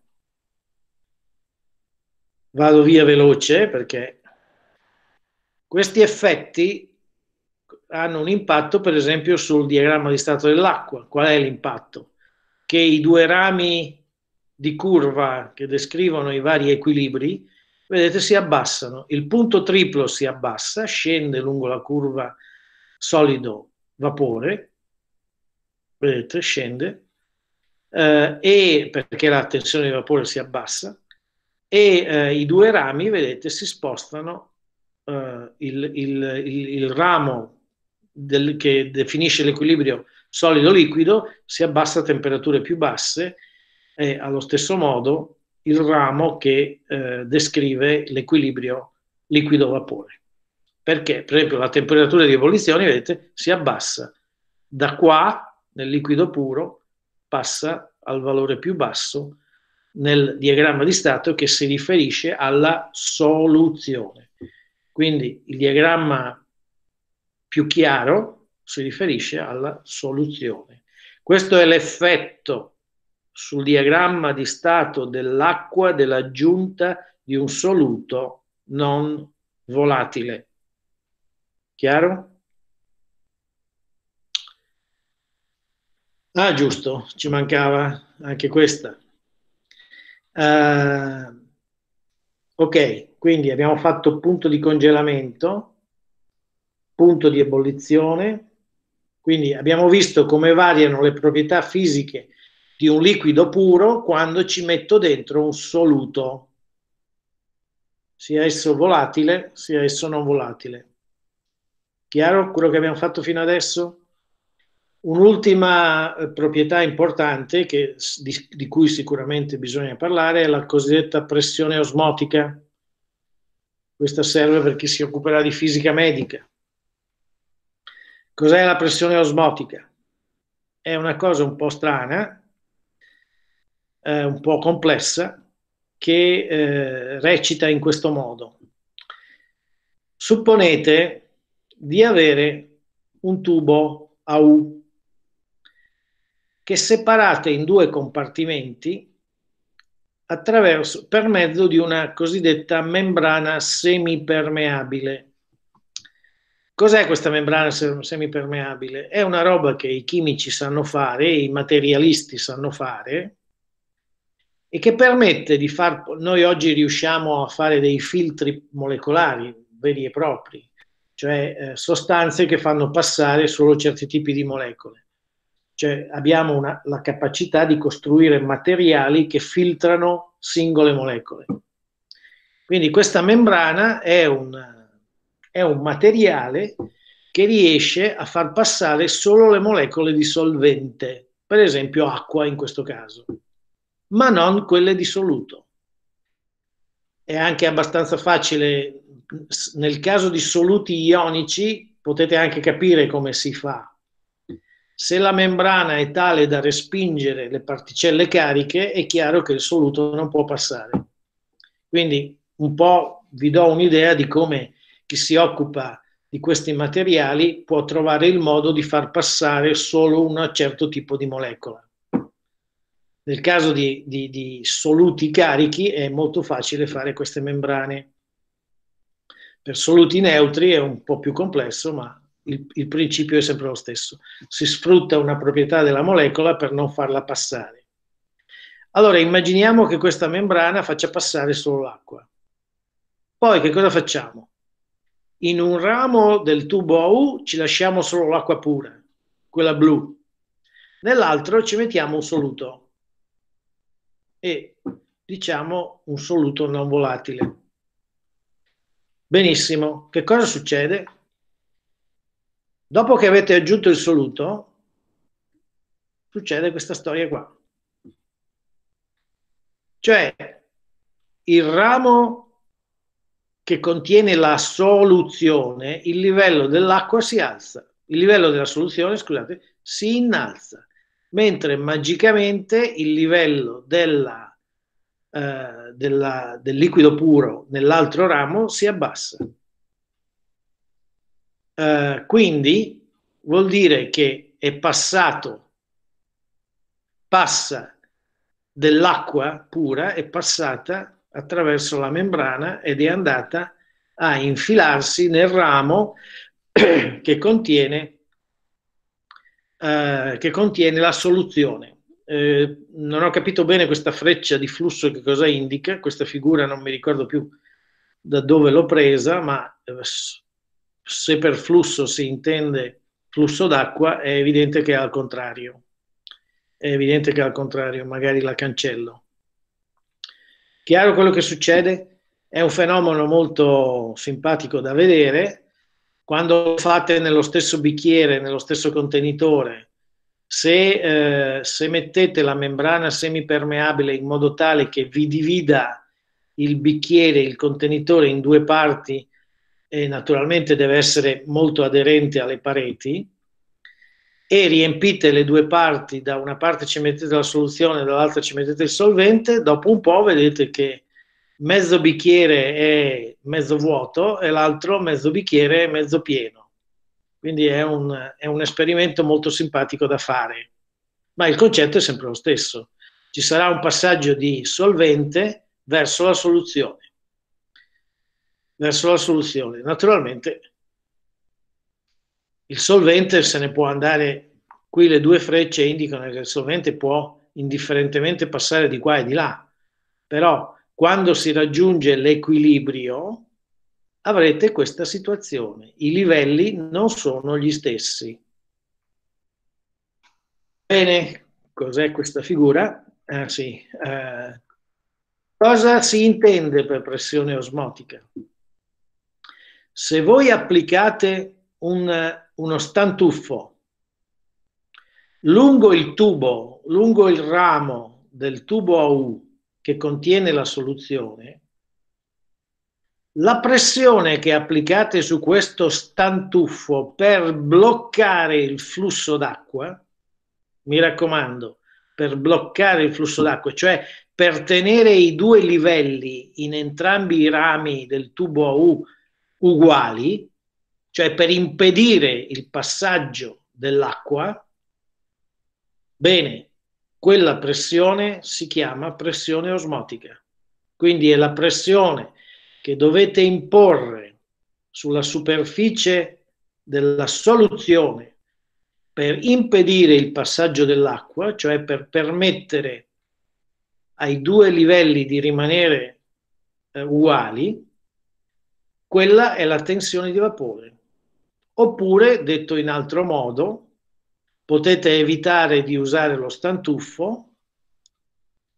Torniamo al caso, no, non ce l'ho. Ecco, prendiamola qua. Invece di usare lo stantuffo si può usare un sistema di questo genere. Vedete, eh, il liquido puro sta nel bicchiere esterno, il solvente, la soluzione l'avete messa dentro quella specie di, non so, tubo, non so come chiamarlo, eh, la membrana semipermeabile separa la, la base di questo tubo che è in contatto con il solvente, è chiaro che il solvente dal bicchiere, dal contenitore esterno, passerà dentro al tubo. E voi vedete nella figura accanto che il livello nel tubo è aumentato. È esattamente lo stesso fenomeno di prima, però si vede molto meglio con questo sistema.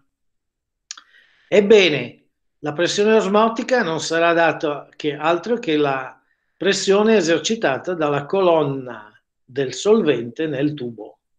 Quindi quando so- la soluzione risale lungo il tubo è chiaro che creerà una pressione dovuta al peso della colonna di, solve, di, solu, di soluzione, quella verde, ebbene quel peso lì è la pressione osmotica, peso per unità di superficie. Basta, il peso di quello è chiamato pressione osmotica. Chiaro? Bene, la formula che vedete sotto è la formula della pressione osmotica, dove π è la pressione osmotica, V è il volume della soluzione, N è il numero di mole dissoluto, R è la costante universale dei gas e T è la temperatura assoluta. Se dividete NB per V trovate la concentrazione, cioè la molarità, e avete la formula della pressione osmotica, molto semplice, assomiglia alla formula dei gas. Perché assomiglia alla formula dei gas? Perché voglio farvi, voglio farvi, se non siete troppo, se riuscite ancora a seguirmi, voglio dirvi esattamente qual è la natura della pressione osmotica. Perché in questo esperimento è particolarmente evidente il solvente spinge la soluzione verso l'alto, esercitando appunto questa pressione osmotica. Da do, qual è la natura, qual è l'origine di questa pressione? Da dove viene? Tutto sommato stiamo parlando di due fasi liquide, anche se una è una soluzione, però è una fase liquida l'altro è un solvente ed è una fase liquida, ma quindi come faccio a capire l'origine di questo fenomeno? Perché sembra che l'acqua che sta all'esterno del tubo eserciti una pressione sul liquido che sta all'interno del tubo, tant'è vero che lo spinge verso l'alto. Qual è l'origine di questa pressione? Non è mica una magia, se ci riflettete un attimo e i cerchietti in sotto, sotto cercano di, di darvi l'idea di questo fenomeno, torniamo alla legge di Raoult. Ok? E io vi chiedo, quale sarà la tensione di vapore nel liquido esterno che è solvente puro? per esempio acqua.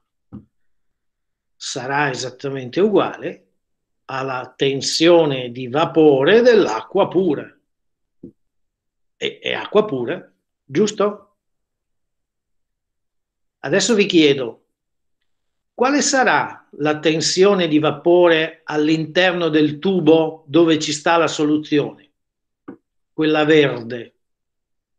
Sarà la tensione di vapore della soluzione che contiene il soluto non volatile. Cosa ci dice la legge di Raoult? L'abbiamo fatto prima.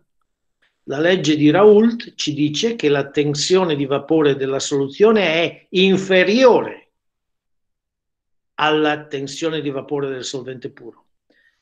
Torniamo indietro, eccola qua. Eh, Eccola qua, vedete, la tensione di vapore di una soluzione contenente un soluto non volatile è sempre inferiore a quella del liquido puro, per la legge di Raoult. Bene, allora qual è l'origine di questa spinta sulla soluzione che spinge il, la soluzione a salire lungo il tubo? È la differenza di tensione, è proprio la differenza di tensione di vapore. Cioè, il solvente puro spinge di più perché ha una tensione di vapore più alta. Tutto qua. Mentre quella della soluzione è più bassa, è più piccola e quindi spinge di meno, non riesce a resistere alla pressione del solvente. E in conclusione, che cosa, cosa succederà? Il, il liquido, il livello del liquido eh, della, della soluzione all'interno del tubo si innalzerà finché il peso della colonna di soluzione compenserà la spinta, la differenza fra le tensioni di vapore. È chiaro? E quella differenza sarà proprio la pressione osmotica. Chiaro l'origine del fenomeno? È, una, è dovuto alla differenza e deriva dalla legge di Raoult, è dovuta alla differenza fra le tensioni di vapore fra il liquido puro e una soluzione del liquido puro che contiene un soluto non volatile. Siccome è più bassa, l'equilibrio si raggiunge solo quando il, la soluzione è salita nel tubo fino a che avrà, eserciterà una pressione proprio sulla, sulla, sulla soluzione, sul solvente puro, tale da compensare la differenza di pressione osmotica. Ci dovrebbe essere una domanda. Uh, quest'ultima cosa, dall'inizio quindi. Quindi, di che cosa vi sto parlando? Sto ripetendo. Qual è l'origine della pressione osmotica? Perché, se è chiaro questo sistemino sperimentale, ma anche gli altri, anche nel tubo AU, potreste chiedervi perché l'acqua spinge in alto lungo il tubo, anche nel tubo AU, no? Che cosa succede? L'acqua spinge in alto eh, la, il livello della, della, della soluzione contenuta nell'altra parte del tubo a 1. È chiaro che lo spinge in alto perché riesce a passare dall'altra parte, giusto? Quindi questa spinta è dovuta al fatto che l'acqua passa per la membrana semipermeabile e quindi innalza il livello della soluzione. Bene, perché l'acqua spinge di più e riesce a passare attraverso la membrana? Da dove gli viene questa forza? Eh, avevo detto prima, tutto sommato ci sono molecole d'acqua anche nella soluzione verde. Perché queste non riescono, hanno meno tendenza a passare dall'altra parte? Perché non, non se ne tornano nel liquido puro? Giusto? Spero che sia questa la domanda che mi sta facendo. Da dove deriva questa tendenza dell'acqua ad attraversare la membrana solo, lungo, solo per passare nella soluzione e invece la tendenza inversa è molto, molto minore, cioè le molecole che stanno d'acqua che stanno nelle, nella soluzione hanno meno tendenza a passare nel solvente puro. Da dove deriva questa differenza di tendenza di queste molecole d'acqua. Sono sempre molecole d'acqua. Ebbene, la differenza deriva dalla differenza nelle tensioni di vapore che nei valori delle, della tensione di vapore che esiste fra il valore della tensione di vapore del solvente puro e il valore della tensione di vapore del solvente eh, del, che, del solvente che si trova nella soluzione. Quando l'acqua è in presenza del soluto, sto parlando del liquido eh, rappresentato in verde, ebbene la sua tensione di vapore è inferiore a quando l'acqua si trova invece come solvente puro, cioè il liquido blu, liquido azzurro. Quindi esiste una pressione maggiore esercitata dalle molecole d'acqua, quella che è la tensione di vapore, che si trovano nel solvente puro, mentre quelle che si trovano nella soluzione spingono di meno, perché la tensione di vapore è più piccola. Quale sarà il risultato? Che le molecole d'acqua che stanno nel liquido puro avranno una forza maggiore per attraversare la membrana ed entrare nel tubo e innalzare il livello del tubo. Quindi la spinta che porta le molecole d'acqua dal solvente puro ad attraversare la membrana semipermeabile è una spinta dovuta alla differenza delle tensioni di vapore fra il liquido puro e la soluzione. Che la legge di Raoult ci dice che la tensione di vapore del liquido puro è sempre maggiore della tensione di vapore della soluzione. Quindi è una conseguenza della legge di Raoult. Non c'è niente di misterioso. Mi dica se è più chiaro. Era questo che, era questo che mi aveva chiesto. Ok. Più chiaro, spero che sia completamente chiaro. Ok, benissimo. Quindi, se qualcuno vi chiede qual è l'origine della pressione osmotica, una volta capito che cos'è il fenomeno della pressione osmotica, la risposta è, è, è dovuto alla differenza de, fra le tensioni di vapore del liquido puro e della soluzione, che la legge di Raoult mi dice che quella del liquido puro è sempre maggiore di quella del, della soluzione che contiene un soluto non volatile, eh? perché se dentro c'è un soluto volatile eh, è, chiaro, è, chiaro, che... Ma anche lì avete visto però, eh, fa, vorrei ricordarvi che anche se dentro c'è un soluto, torniamo a questo grafico, volatile, però vedete che la tensione di vapore della soluzione è sempre inferiore a quella del, del solvente puro. Se PA0 è l'acqua, no? E P, eh, è chiaro che il, il, solvente che spinge di più in questo caso è quello che ha la tensione di vapore più elevata. Però se assumiamo che PA0 è, la, è l'acqua e PB0 è un soluto volatile ma che ha una tensione di vapore più bassa, vedete che l'acqua avrà sempre la tensione di vapore più alta, l'acqua pura. Però questo è sicuramente intuitivo quando il soluto è volatile. Non è volatile perché il soluto non volatile non ha nessuna tensione di vapore. Ecco, poi spero, ecco, dopo c'è un, invece entriamo in termodinamica. Allora, eh, spero sia sufficientemente chiaro quello che ho detto. In particolare ricordatevi l'origine della pressione osmotica. È un, la differenza delle tensioni di vapore fra il liquido puro e, e il liquido quando si trova in una soluzione, che contiene un soluto che o non è volatile o evapora meno di lui, insomma ha una tensione di vapore più bassa. Uh, questo è un riassunto delle formule che descrivono le proprietà colligative.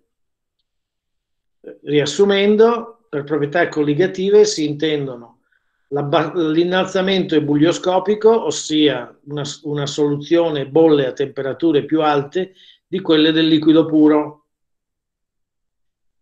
l'abbassamento crioscopico, delta TCR, una, un, un, un, il liquido in una soluzione congela a una temperatura più bassa rispetto al liquido puro.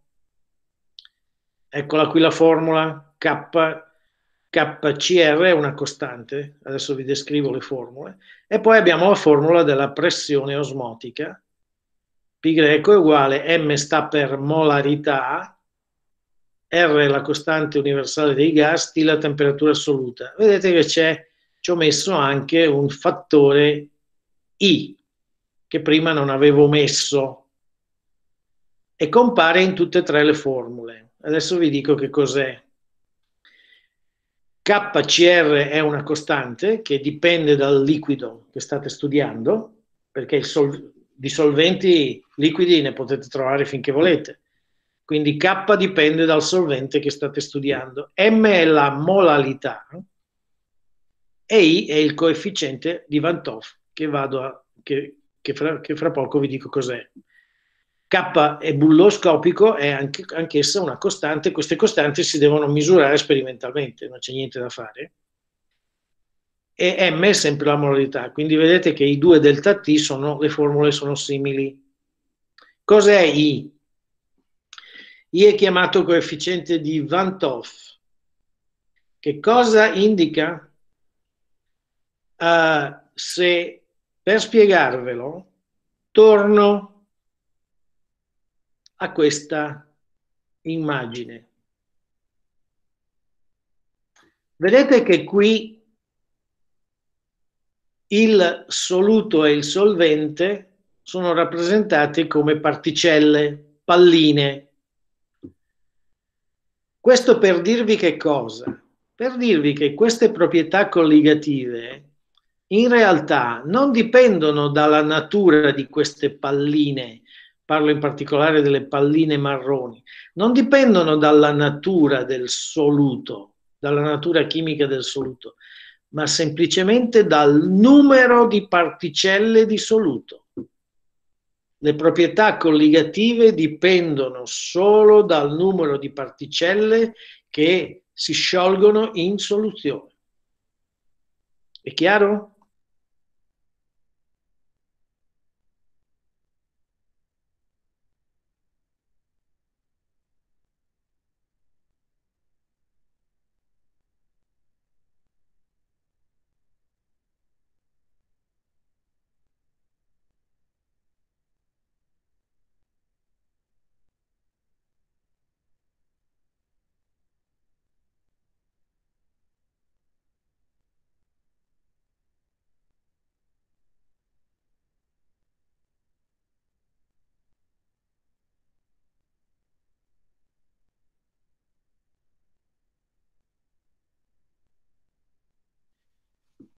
Eh, scusate un secondo, ho... mi sentite? Ho, ho fatto la... Ho fatto... Scusate, sono qua, eh. Sono qua, ho, ho spinto il tasto sbagliato. Eccomi qua di nuovo. Allora, vi stavo dicendo che, ah beh, scusate, devo far ripartire la, la registrazione, vabbè, sarà una registrazione un po', mi spiace per, per, ah no, la registrazione c'è ancora, scusate, va bene.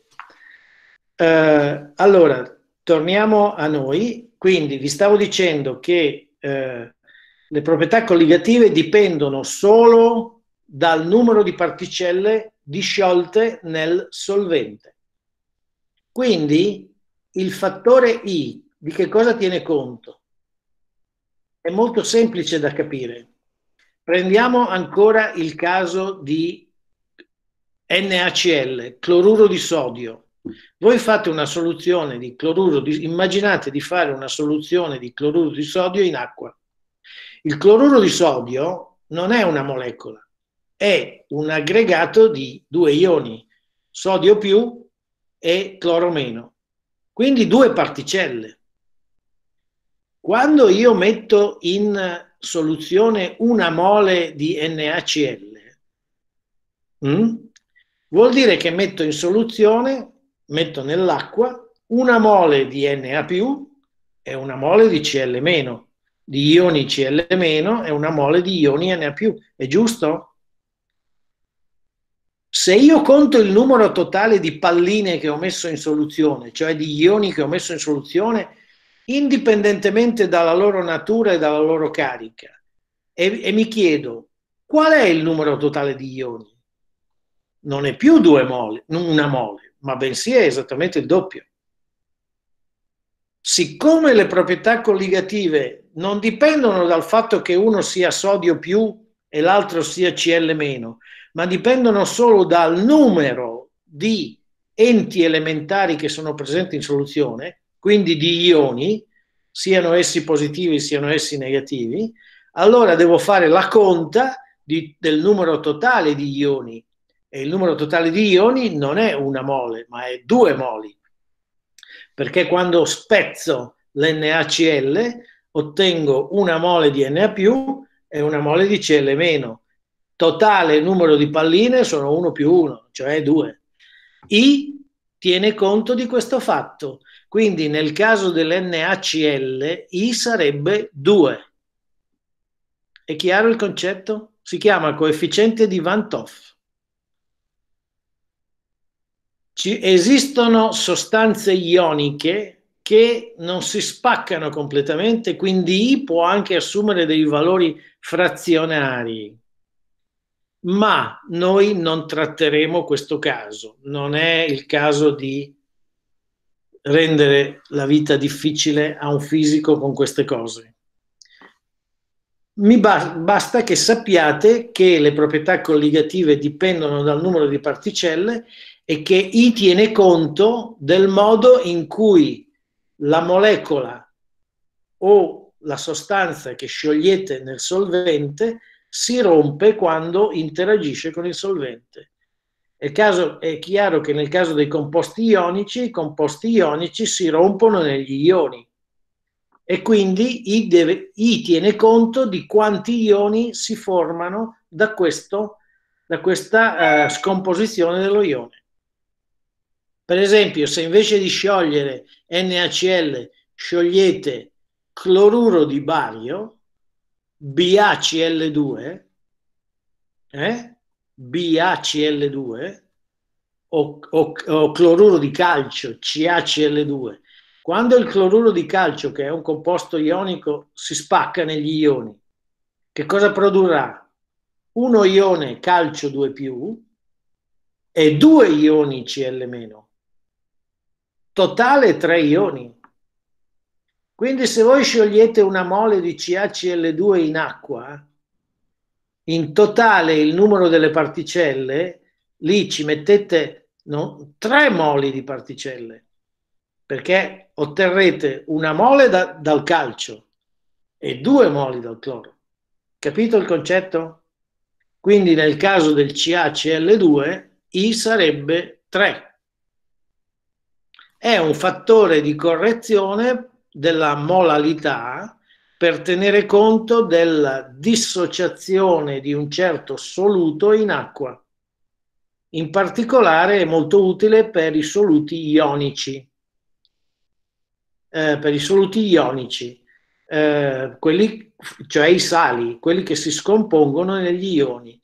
Eh, la pressione osmotica, l'abbassamento, eh, l'innalzamento ebulioscopico, l'abbassamento crioscopico, cioè le proprietà colligative, dipendono dal numero di ioni e non dalla natura degli ioni.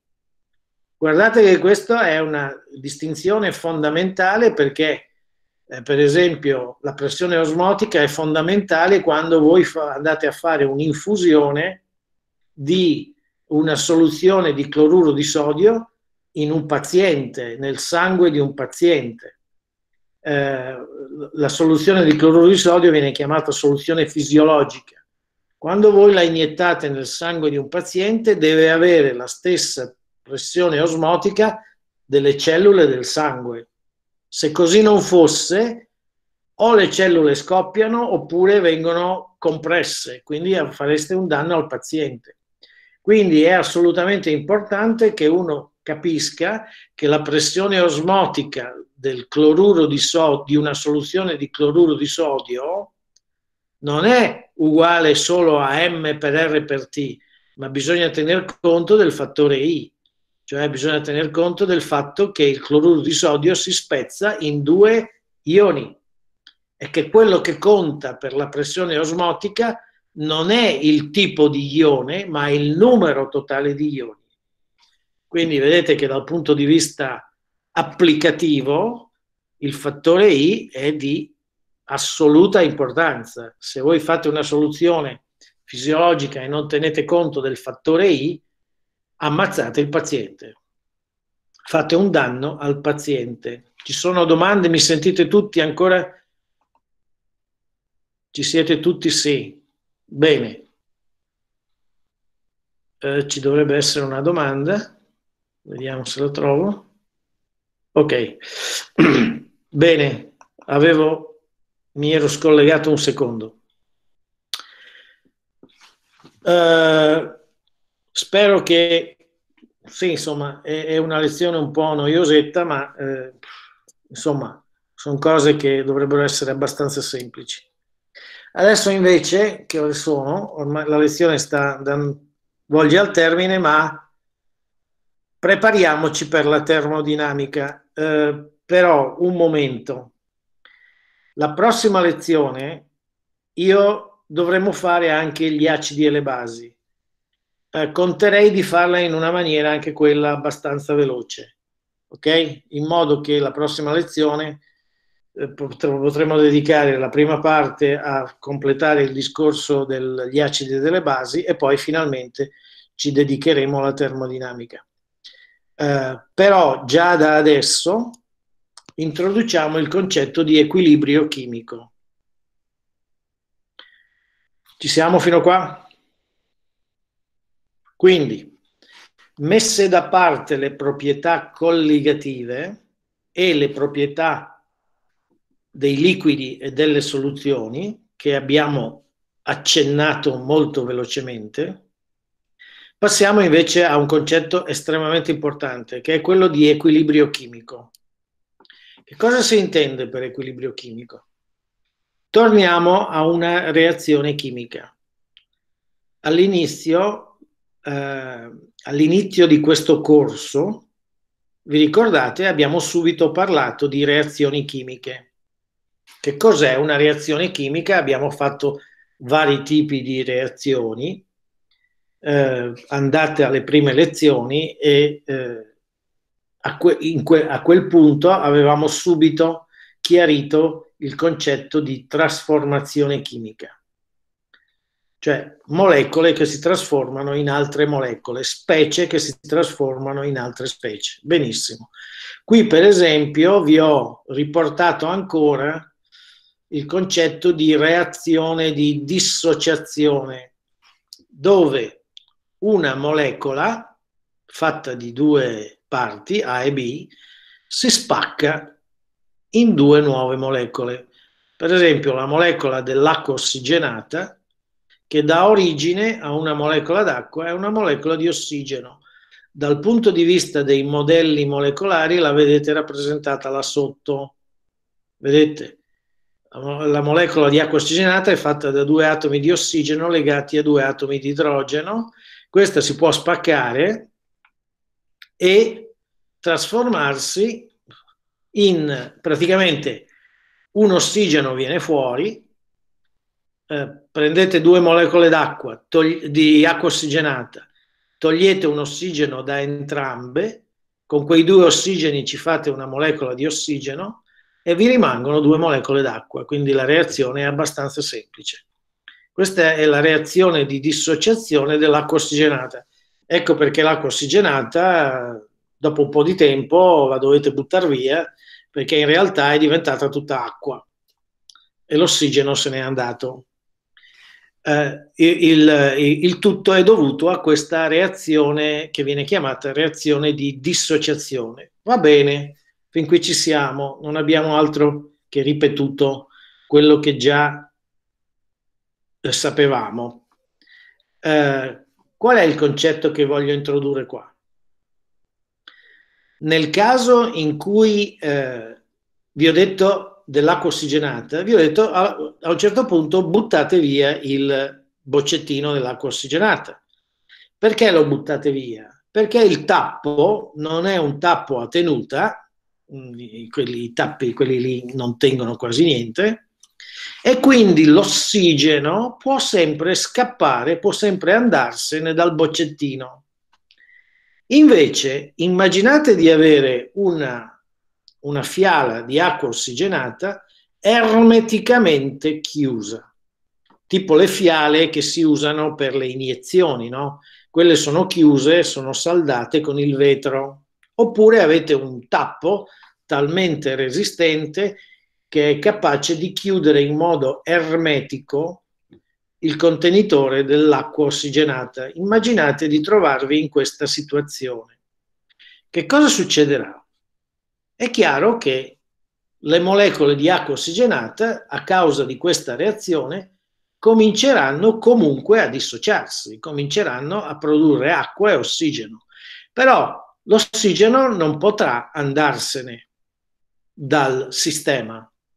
L'ossigeno rimarrà dentro alla fiala, non si sottrarrà alla reazione.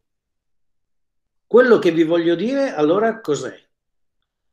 Quello che vi voglio dire è che a un certo punto questa reazione si blocca, si ferma.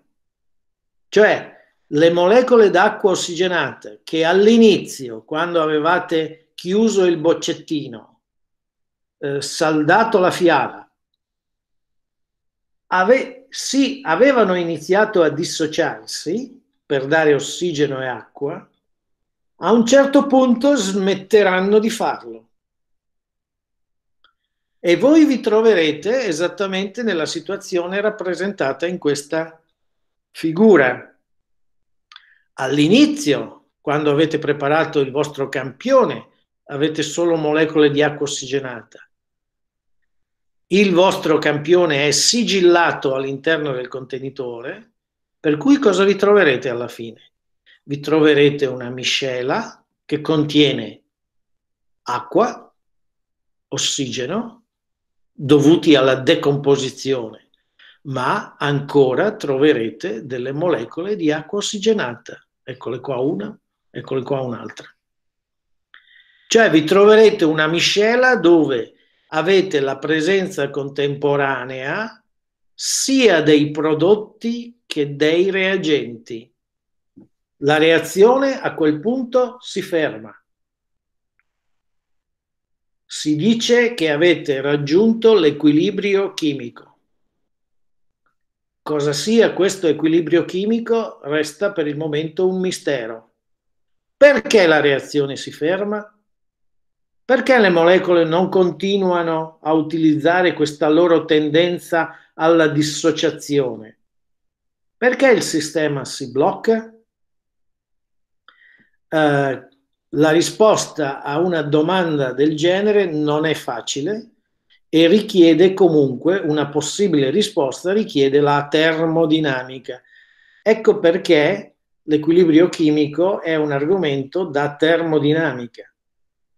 Eh, l'hanno chiamato equilibrio chimico perché è analogo a, al tipo di equilibrio che noi abbiamo già discusso nel caso dei gas, per esempio. D'accordo? oppure nel caso dell'equilibrio eh, acqua, eh, liquido-vapore, no? Eh, anche nel caso dell'equilibrio liquido-vapore, vi ho detto, a un certo punto l'evaporazione si interrompe. Qui è esattamente la stessa cosa. Eh, un gas a un certo punto smette di espandersi, ha raggiunto l'equilibrio una, l'evaporazione a un certo punto cessa quando la tensione di vapore ha raggiunto un certo valore. L'evaporazione ha raggiunto l'equilibrio. Una reazione chimica avviene, ma a un certo punto si interrompe quando raggiunge l'equilibrio chimico. Quindi questo fenomeno ha tutti i diritti di essere chiamato equilibrio, un fenomeno di equilibrio quando una reazione smette di avvenire, i reagenti non reagiscono più per formare i prodotti. Uh, la maggior parte delle reazioni chimiche si comporta in questo modo. Uh, la stragrande maggioranza delle reazioni chimiche avviene esattamente in questo modo. Uh, e quindi tutte le reazioni chimiche a un certo punto raggiungono un punto di equilibrio che ha il significato che vi ho detto io adesso, ossia si raggiunge l'equilibrio chimico quando la, la concentrazione dei reagenti e la concentrazione dei prodotti che si sono formati rimangono costanti nel tempo. Significa che abbiamo raggiunto l'equilibrio chimico. Chiaro il concetto? Uh, in questa rappresentazione, quando si è raggiunta una certa concentrazione di molecole d'acqua, una certa concentrazione di ossigeno cer- ed è rimasta una certa concentrazione di acqua ossigenata, a quel punto il sistema si blocca. Perché al momento non abbiamo gli strumenti per rispondere. Come si può rappresentare formalmente una situazione di questo genere? La si rappresenta attraverso quella che viene chiamata la costante di equilibrio, che è una grandezza sperimentale.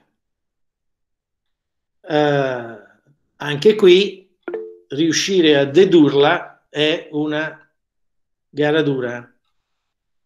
L'audio è disturbato?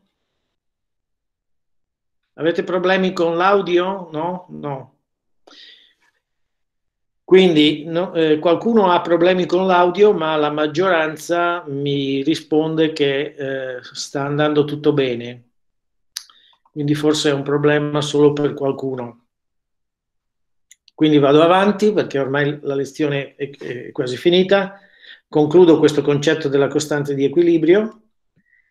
Ecco, come faccio a rappresentare questa cosa strana di cui abbiamo appena parlato, ossia il fatto che a un certo punto una reazione chimica si spegne, non è quantitativa, non avviene tutta, come avevamo supposto all'inizio. Vi ricordate che all'inizio, quando facevamo la legge di Proust, ammettevamo sempre che le reazioni fossero complete si possono rendere complete le reazioni, ci sono i metodi per farlo. Per esempio nel caso della, dell'acqua ossigenata si sottrae l'ossigeno, lo, si apre il boccettino, l'ossigeno se ne va e allora vedrete che tutte le molecole di acqua ossigenata alla fine si dissocieranno. Questo è un modo per rendere quantitativa la reazione. Ma se voi chiudete, chiudete il, la, la, la, il contenitore, se voi chiudete la fiala, a un certo punto la reazione si blocca. Benissimo. Per rappresentare questo stato, eh, la, gli esperimenti mi, mi mostrano che posso utilizzare quella che viene chiamata la costante di equilibrio, KC. Che cos'è la costante di equilibrio? La costante di equilibrio è data dal rapporto fra le concentrazioni dei prodotti, vedete, elevati al proprio esponente stechiometrico, diviso il prodotto della concentrazione dei reagenti rimasti all'equilibrio anch'essi elevati all'esponente stechiometrico. Perché la costante di equilibrio della dissociazione dell'acqua ossigenata è fatta così? Torniamo alla reazione, vedete, la reazione bilanciata è quella che è scritta lì, il coefficiente stechiometrico davanti ai, a, all'acqua ossigenata è 2, davanti all'acqua è 2, per cui ecco perché vi trovate un esponente 2 eh, di, eh, nel, nelle concentrazioni dell'acqua e dell'acqua ossigenata. Le concentrazioni che sono indicate fra parentesi quadra, d'ora in poi quando vedete una parentesi quadra, quella indica una concentrazione della specie che è descritta dentro la parentesi, quelle sono concentrazioni all'equilibrio, non le concentrazioni iniziali quelle che ottenete quando il sistema raggiunge l'equilibrio, cioè quelle che corrispondono a questo stato finale, dove dentro ci avete tutte e tre le specie, quando siete all'equilibrio. Chiaro?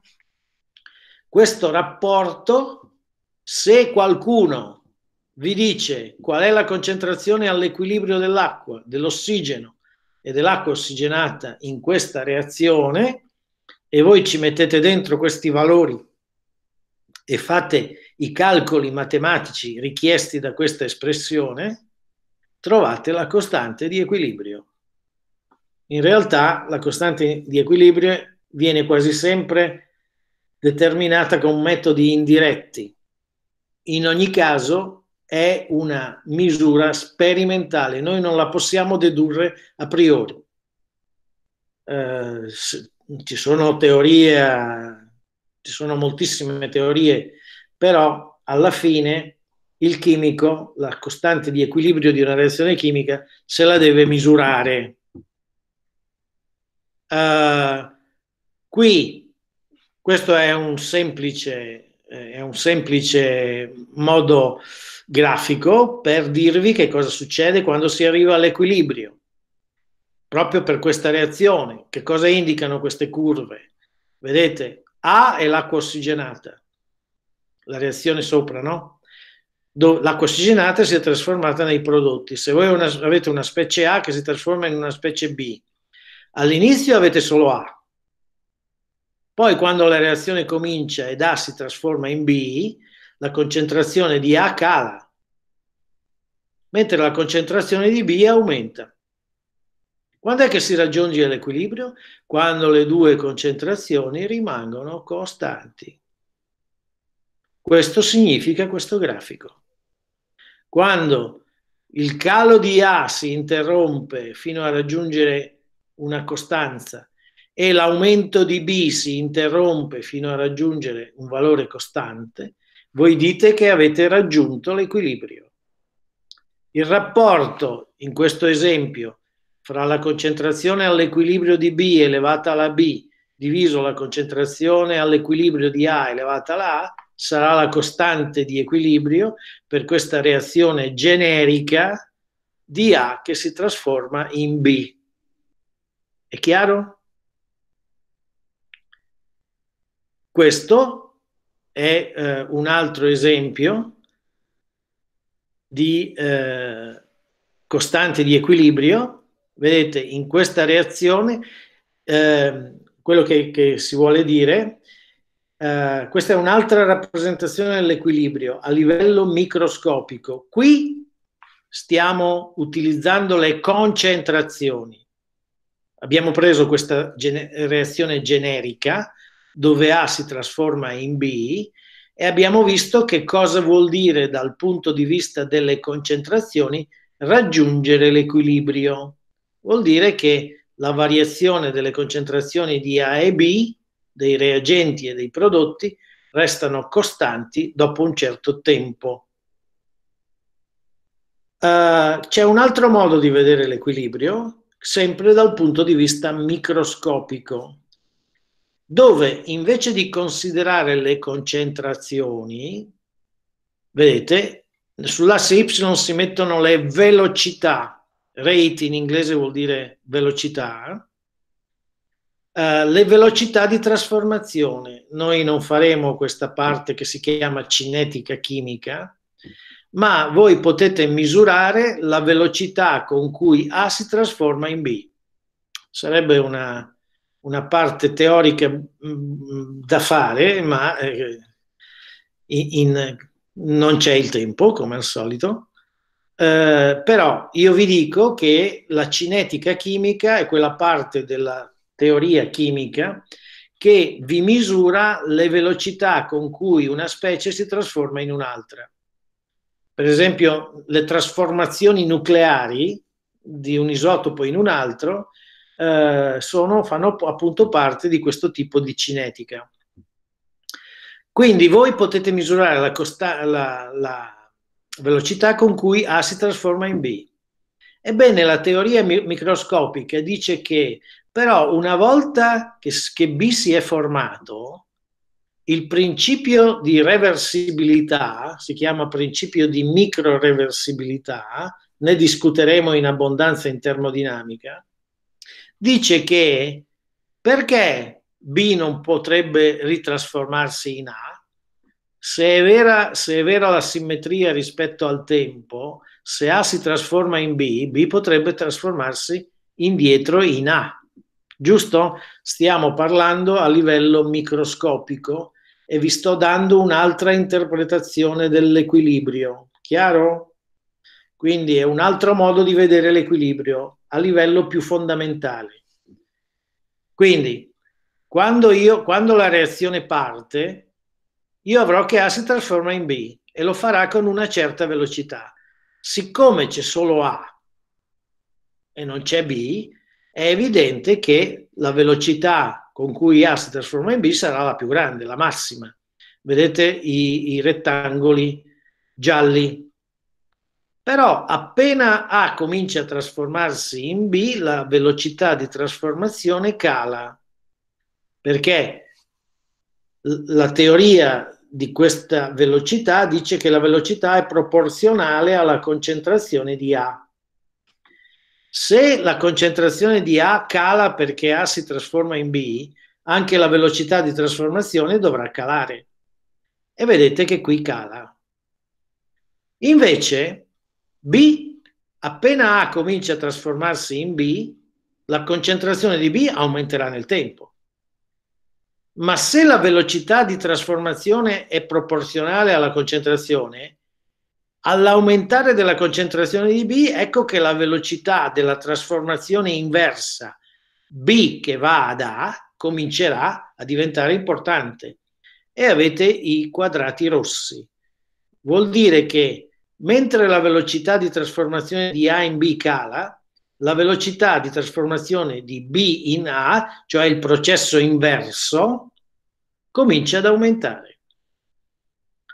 Quando è che si raggiunge l'equilibrio? Quando le due velocità saranno esattamente uguali. A quel punto a si trasforma in B e B si ritrasforma in A alla stessa velocità e quindi la concentrazione di A e B all'equilibrio non cambierà più nel tempo. Macroscopicamente è come se la reazione si fosse fermata. Questo è un modo, è un modo microscopico di interpretare l'equilibrio che si basa sulla valutazione della velocità di trasformazione. Si basa più sulle leggi della meccanica che sulle leggi della termodinamica. Torneremo su questo punto quando faremo la termodinamica. No, quello che per il momento ci basta e concludo è questo. Data una generica reazione, questa reazione procede all'inizio quando ho solo i, i reagenti A e B, procede verso la formazione dei prodotti C e D. Ma a un certo punto questa trasformazione si arresta quando il sistema raggiunge l'equilibrio. Vedete? E si mette la doppia freccia che è di derivazione dalla rappresentazione che vi ho appena detto, no? questa rappresentazione basata sulla velocità di reazione dice che le due reazioni possono avvenire in entrambi i sensi. Ecco perché si usa questo simbolismo freccia in avanti e freccia indietro. Sta ad indicare che stiamo parlando di una reazione che raggiunge l'equilibrio e questa doppia freccia è ispirata da questa descrizione che vi ho appena fatto basata sulle velocità di reazione. Chiaro perché si usa la doppia freccia, si potrebbe anche usare l'uguale, è la stessa cosa. Uh, ma i chimici preferiscono la doppia freccia. Bene, quando vedete una doppia freccia in una reazione chimica vuol dire che quella è una reazione che va all'equilibrio. Chiaro? Se ne vedete solo una vuol dire che quella è una reazione che praticamente è completa. Questo è il simbolismo.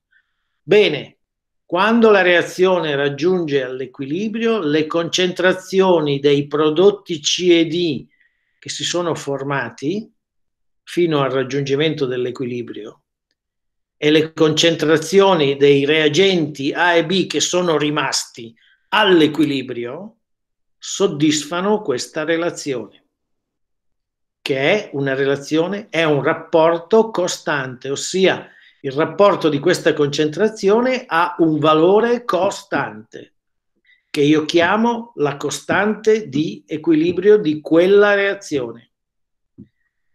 Le parentesi quadre indicano concentrazioni, per esempio molarità, quindi sto parlando di, quando vedete le parentesi quadre state parlando di reazioni che avvengono in soluzione, in fase liquida, ma le reazioni potrebbero avvenire in fase gassosa, possono avvenire anche in fase solida, ma se avete reazioni fra gas, vale la stessa relazione, solo che il rapporto è fra le pressioni parziali.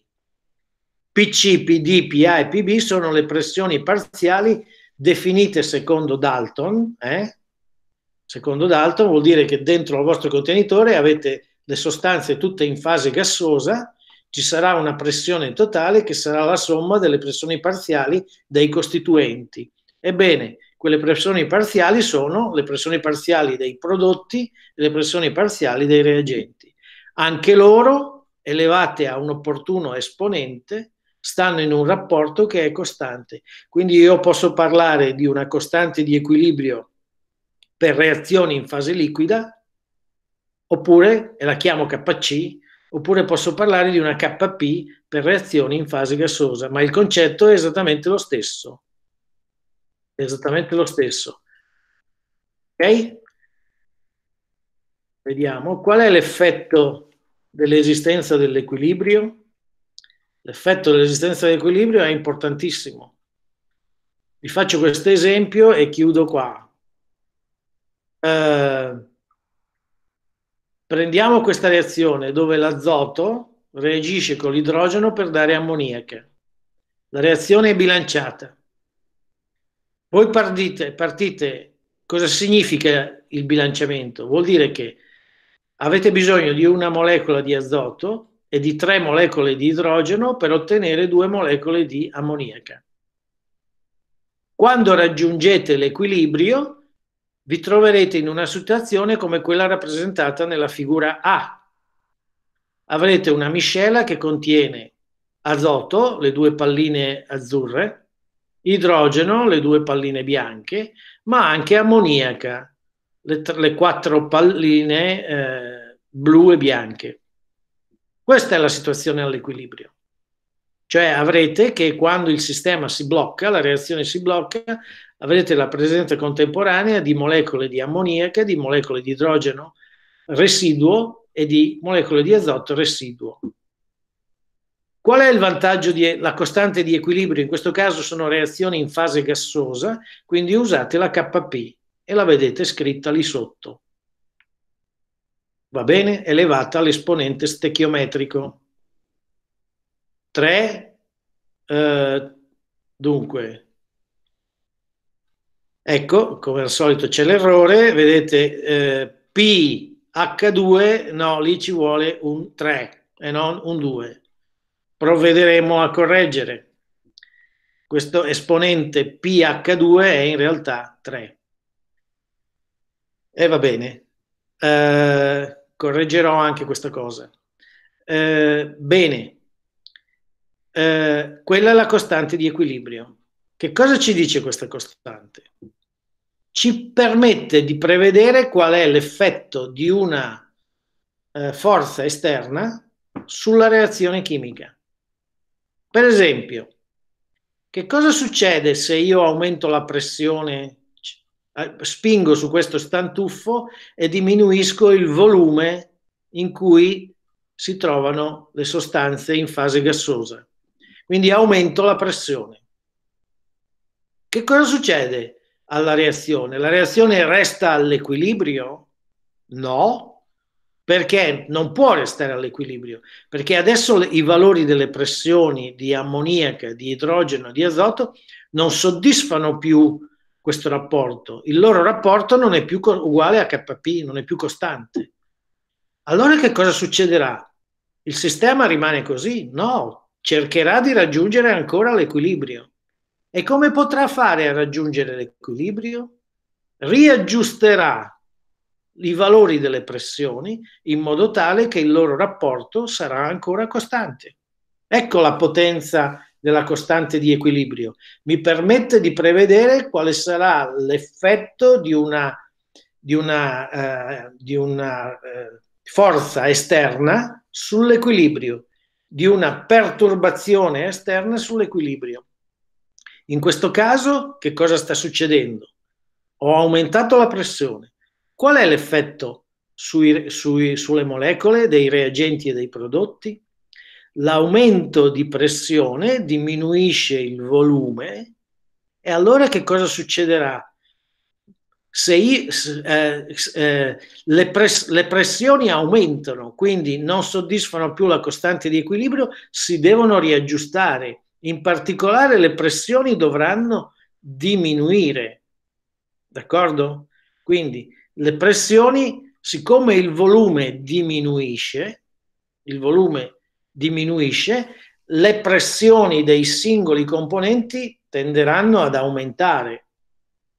il sistema si muoverà verso quella parte della reazione, quel senso, quel verso della reazione che tende a far sì che la pressione ri, ridiminuisca, perché la, la, la, la forza esterna l'ha aumentata.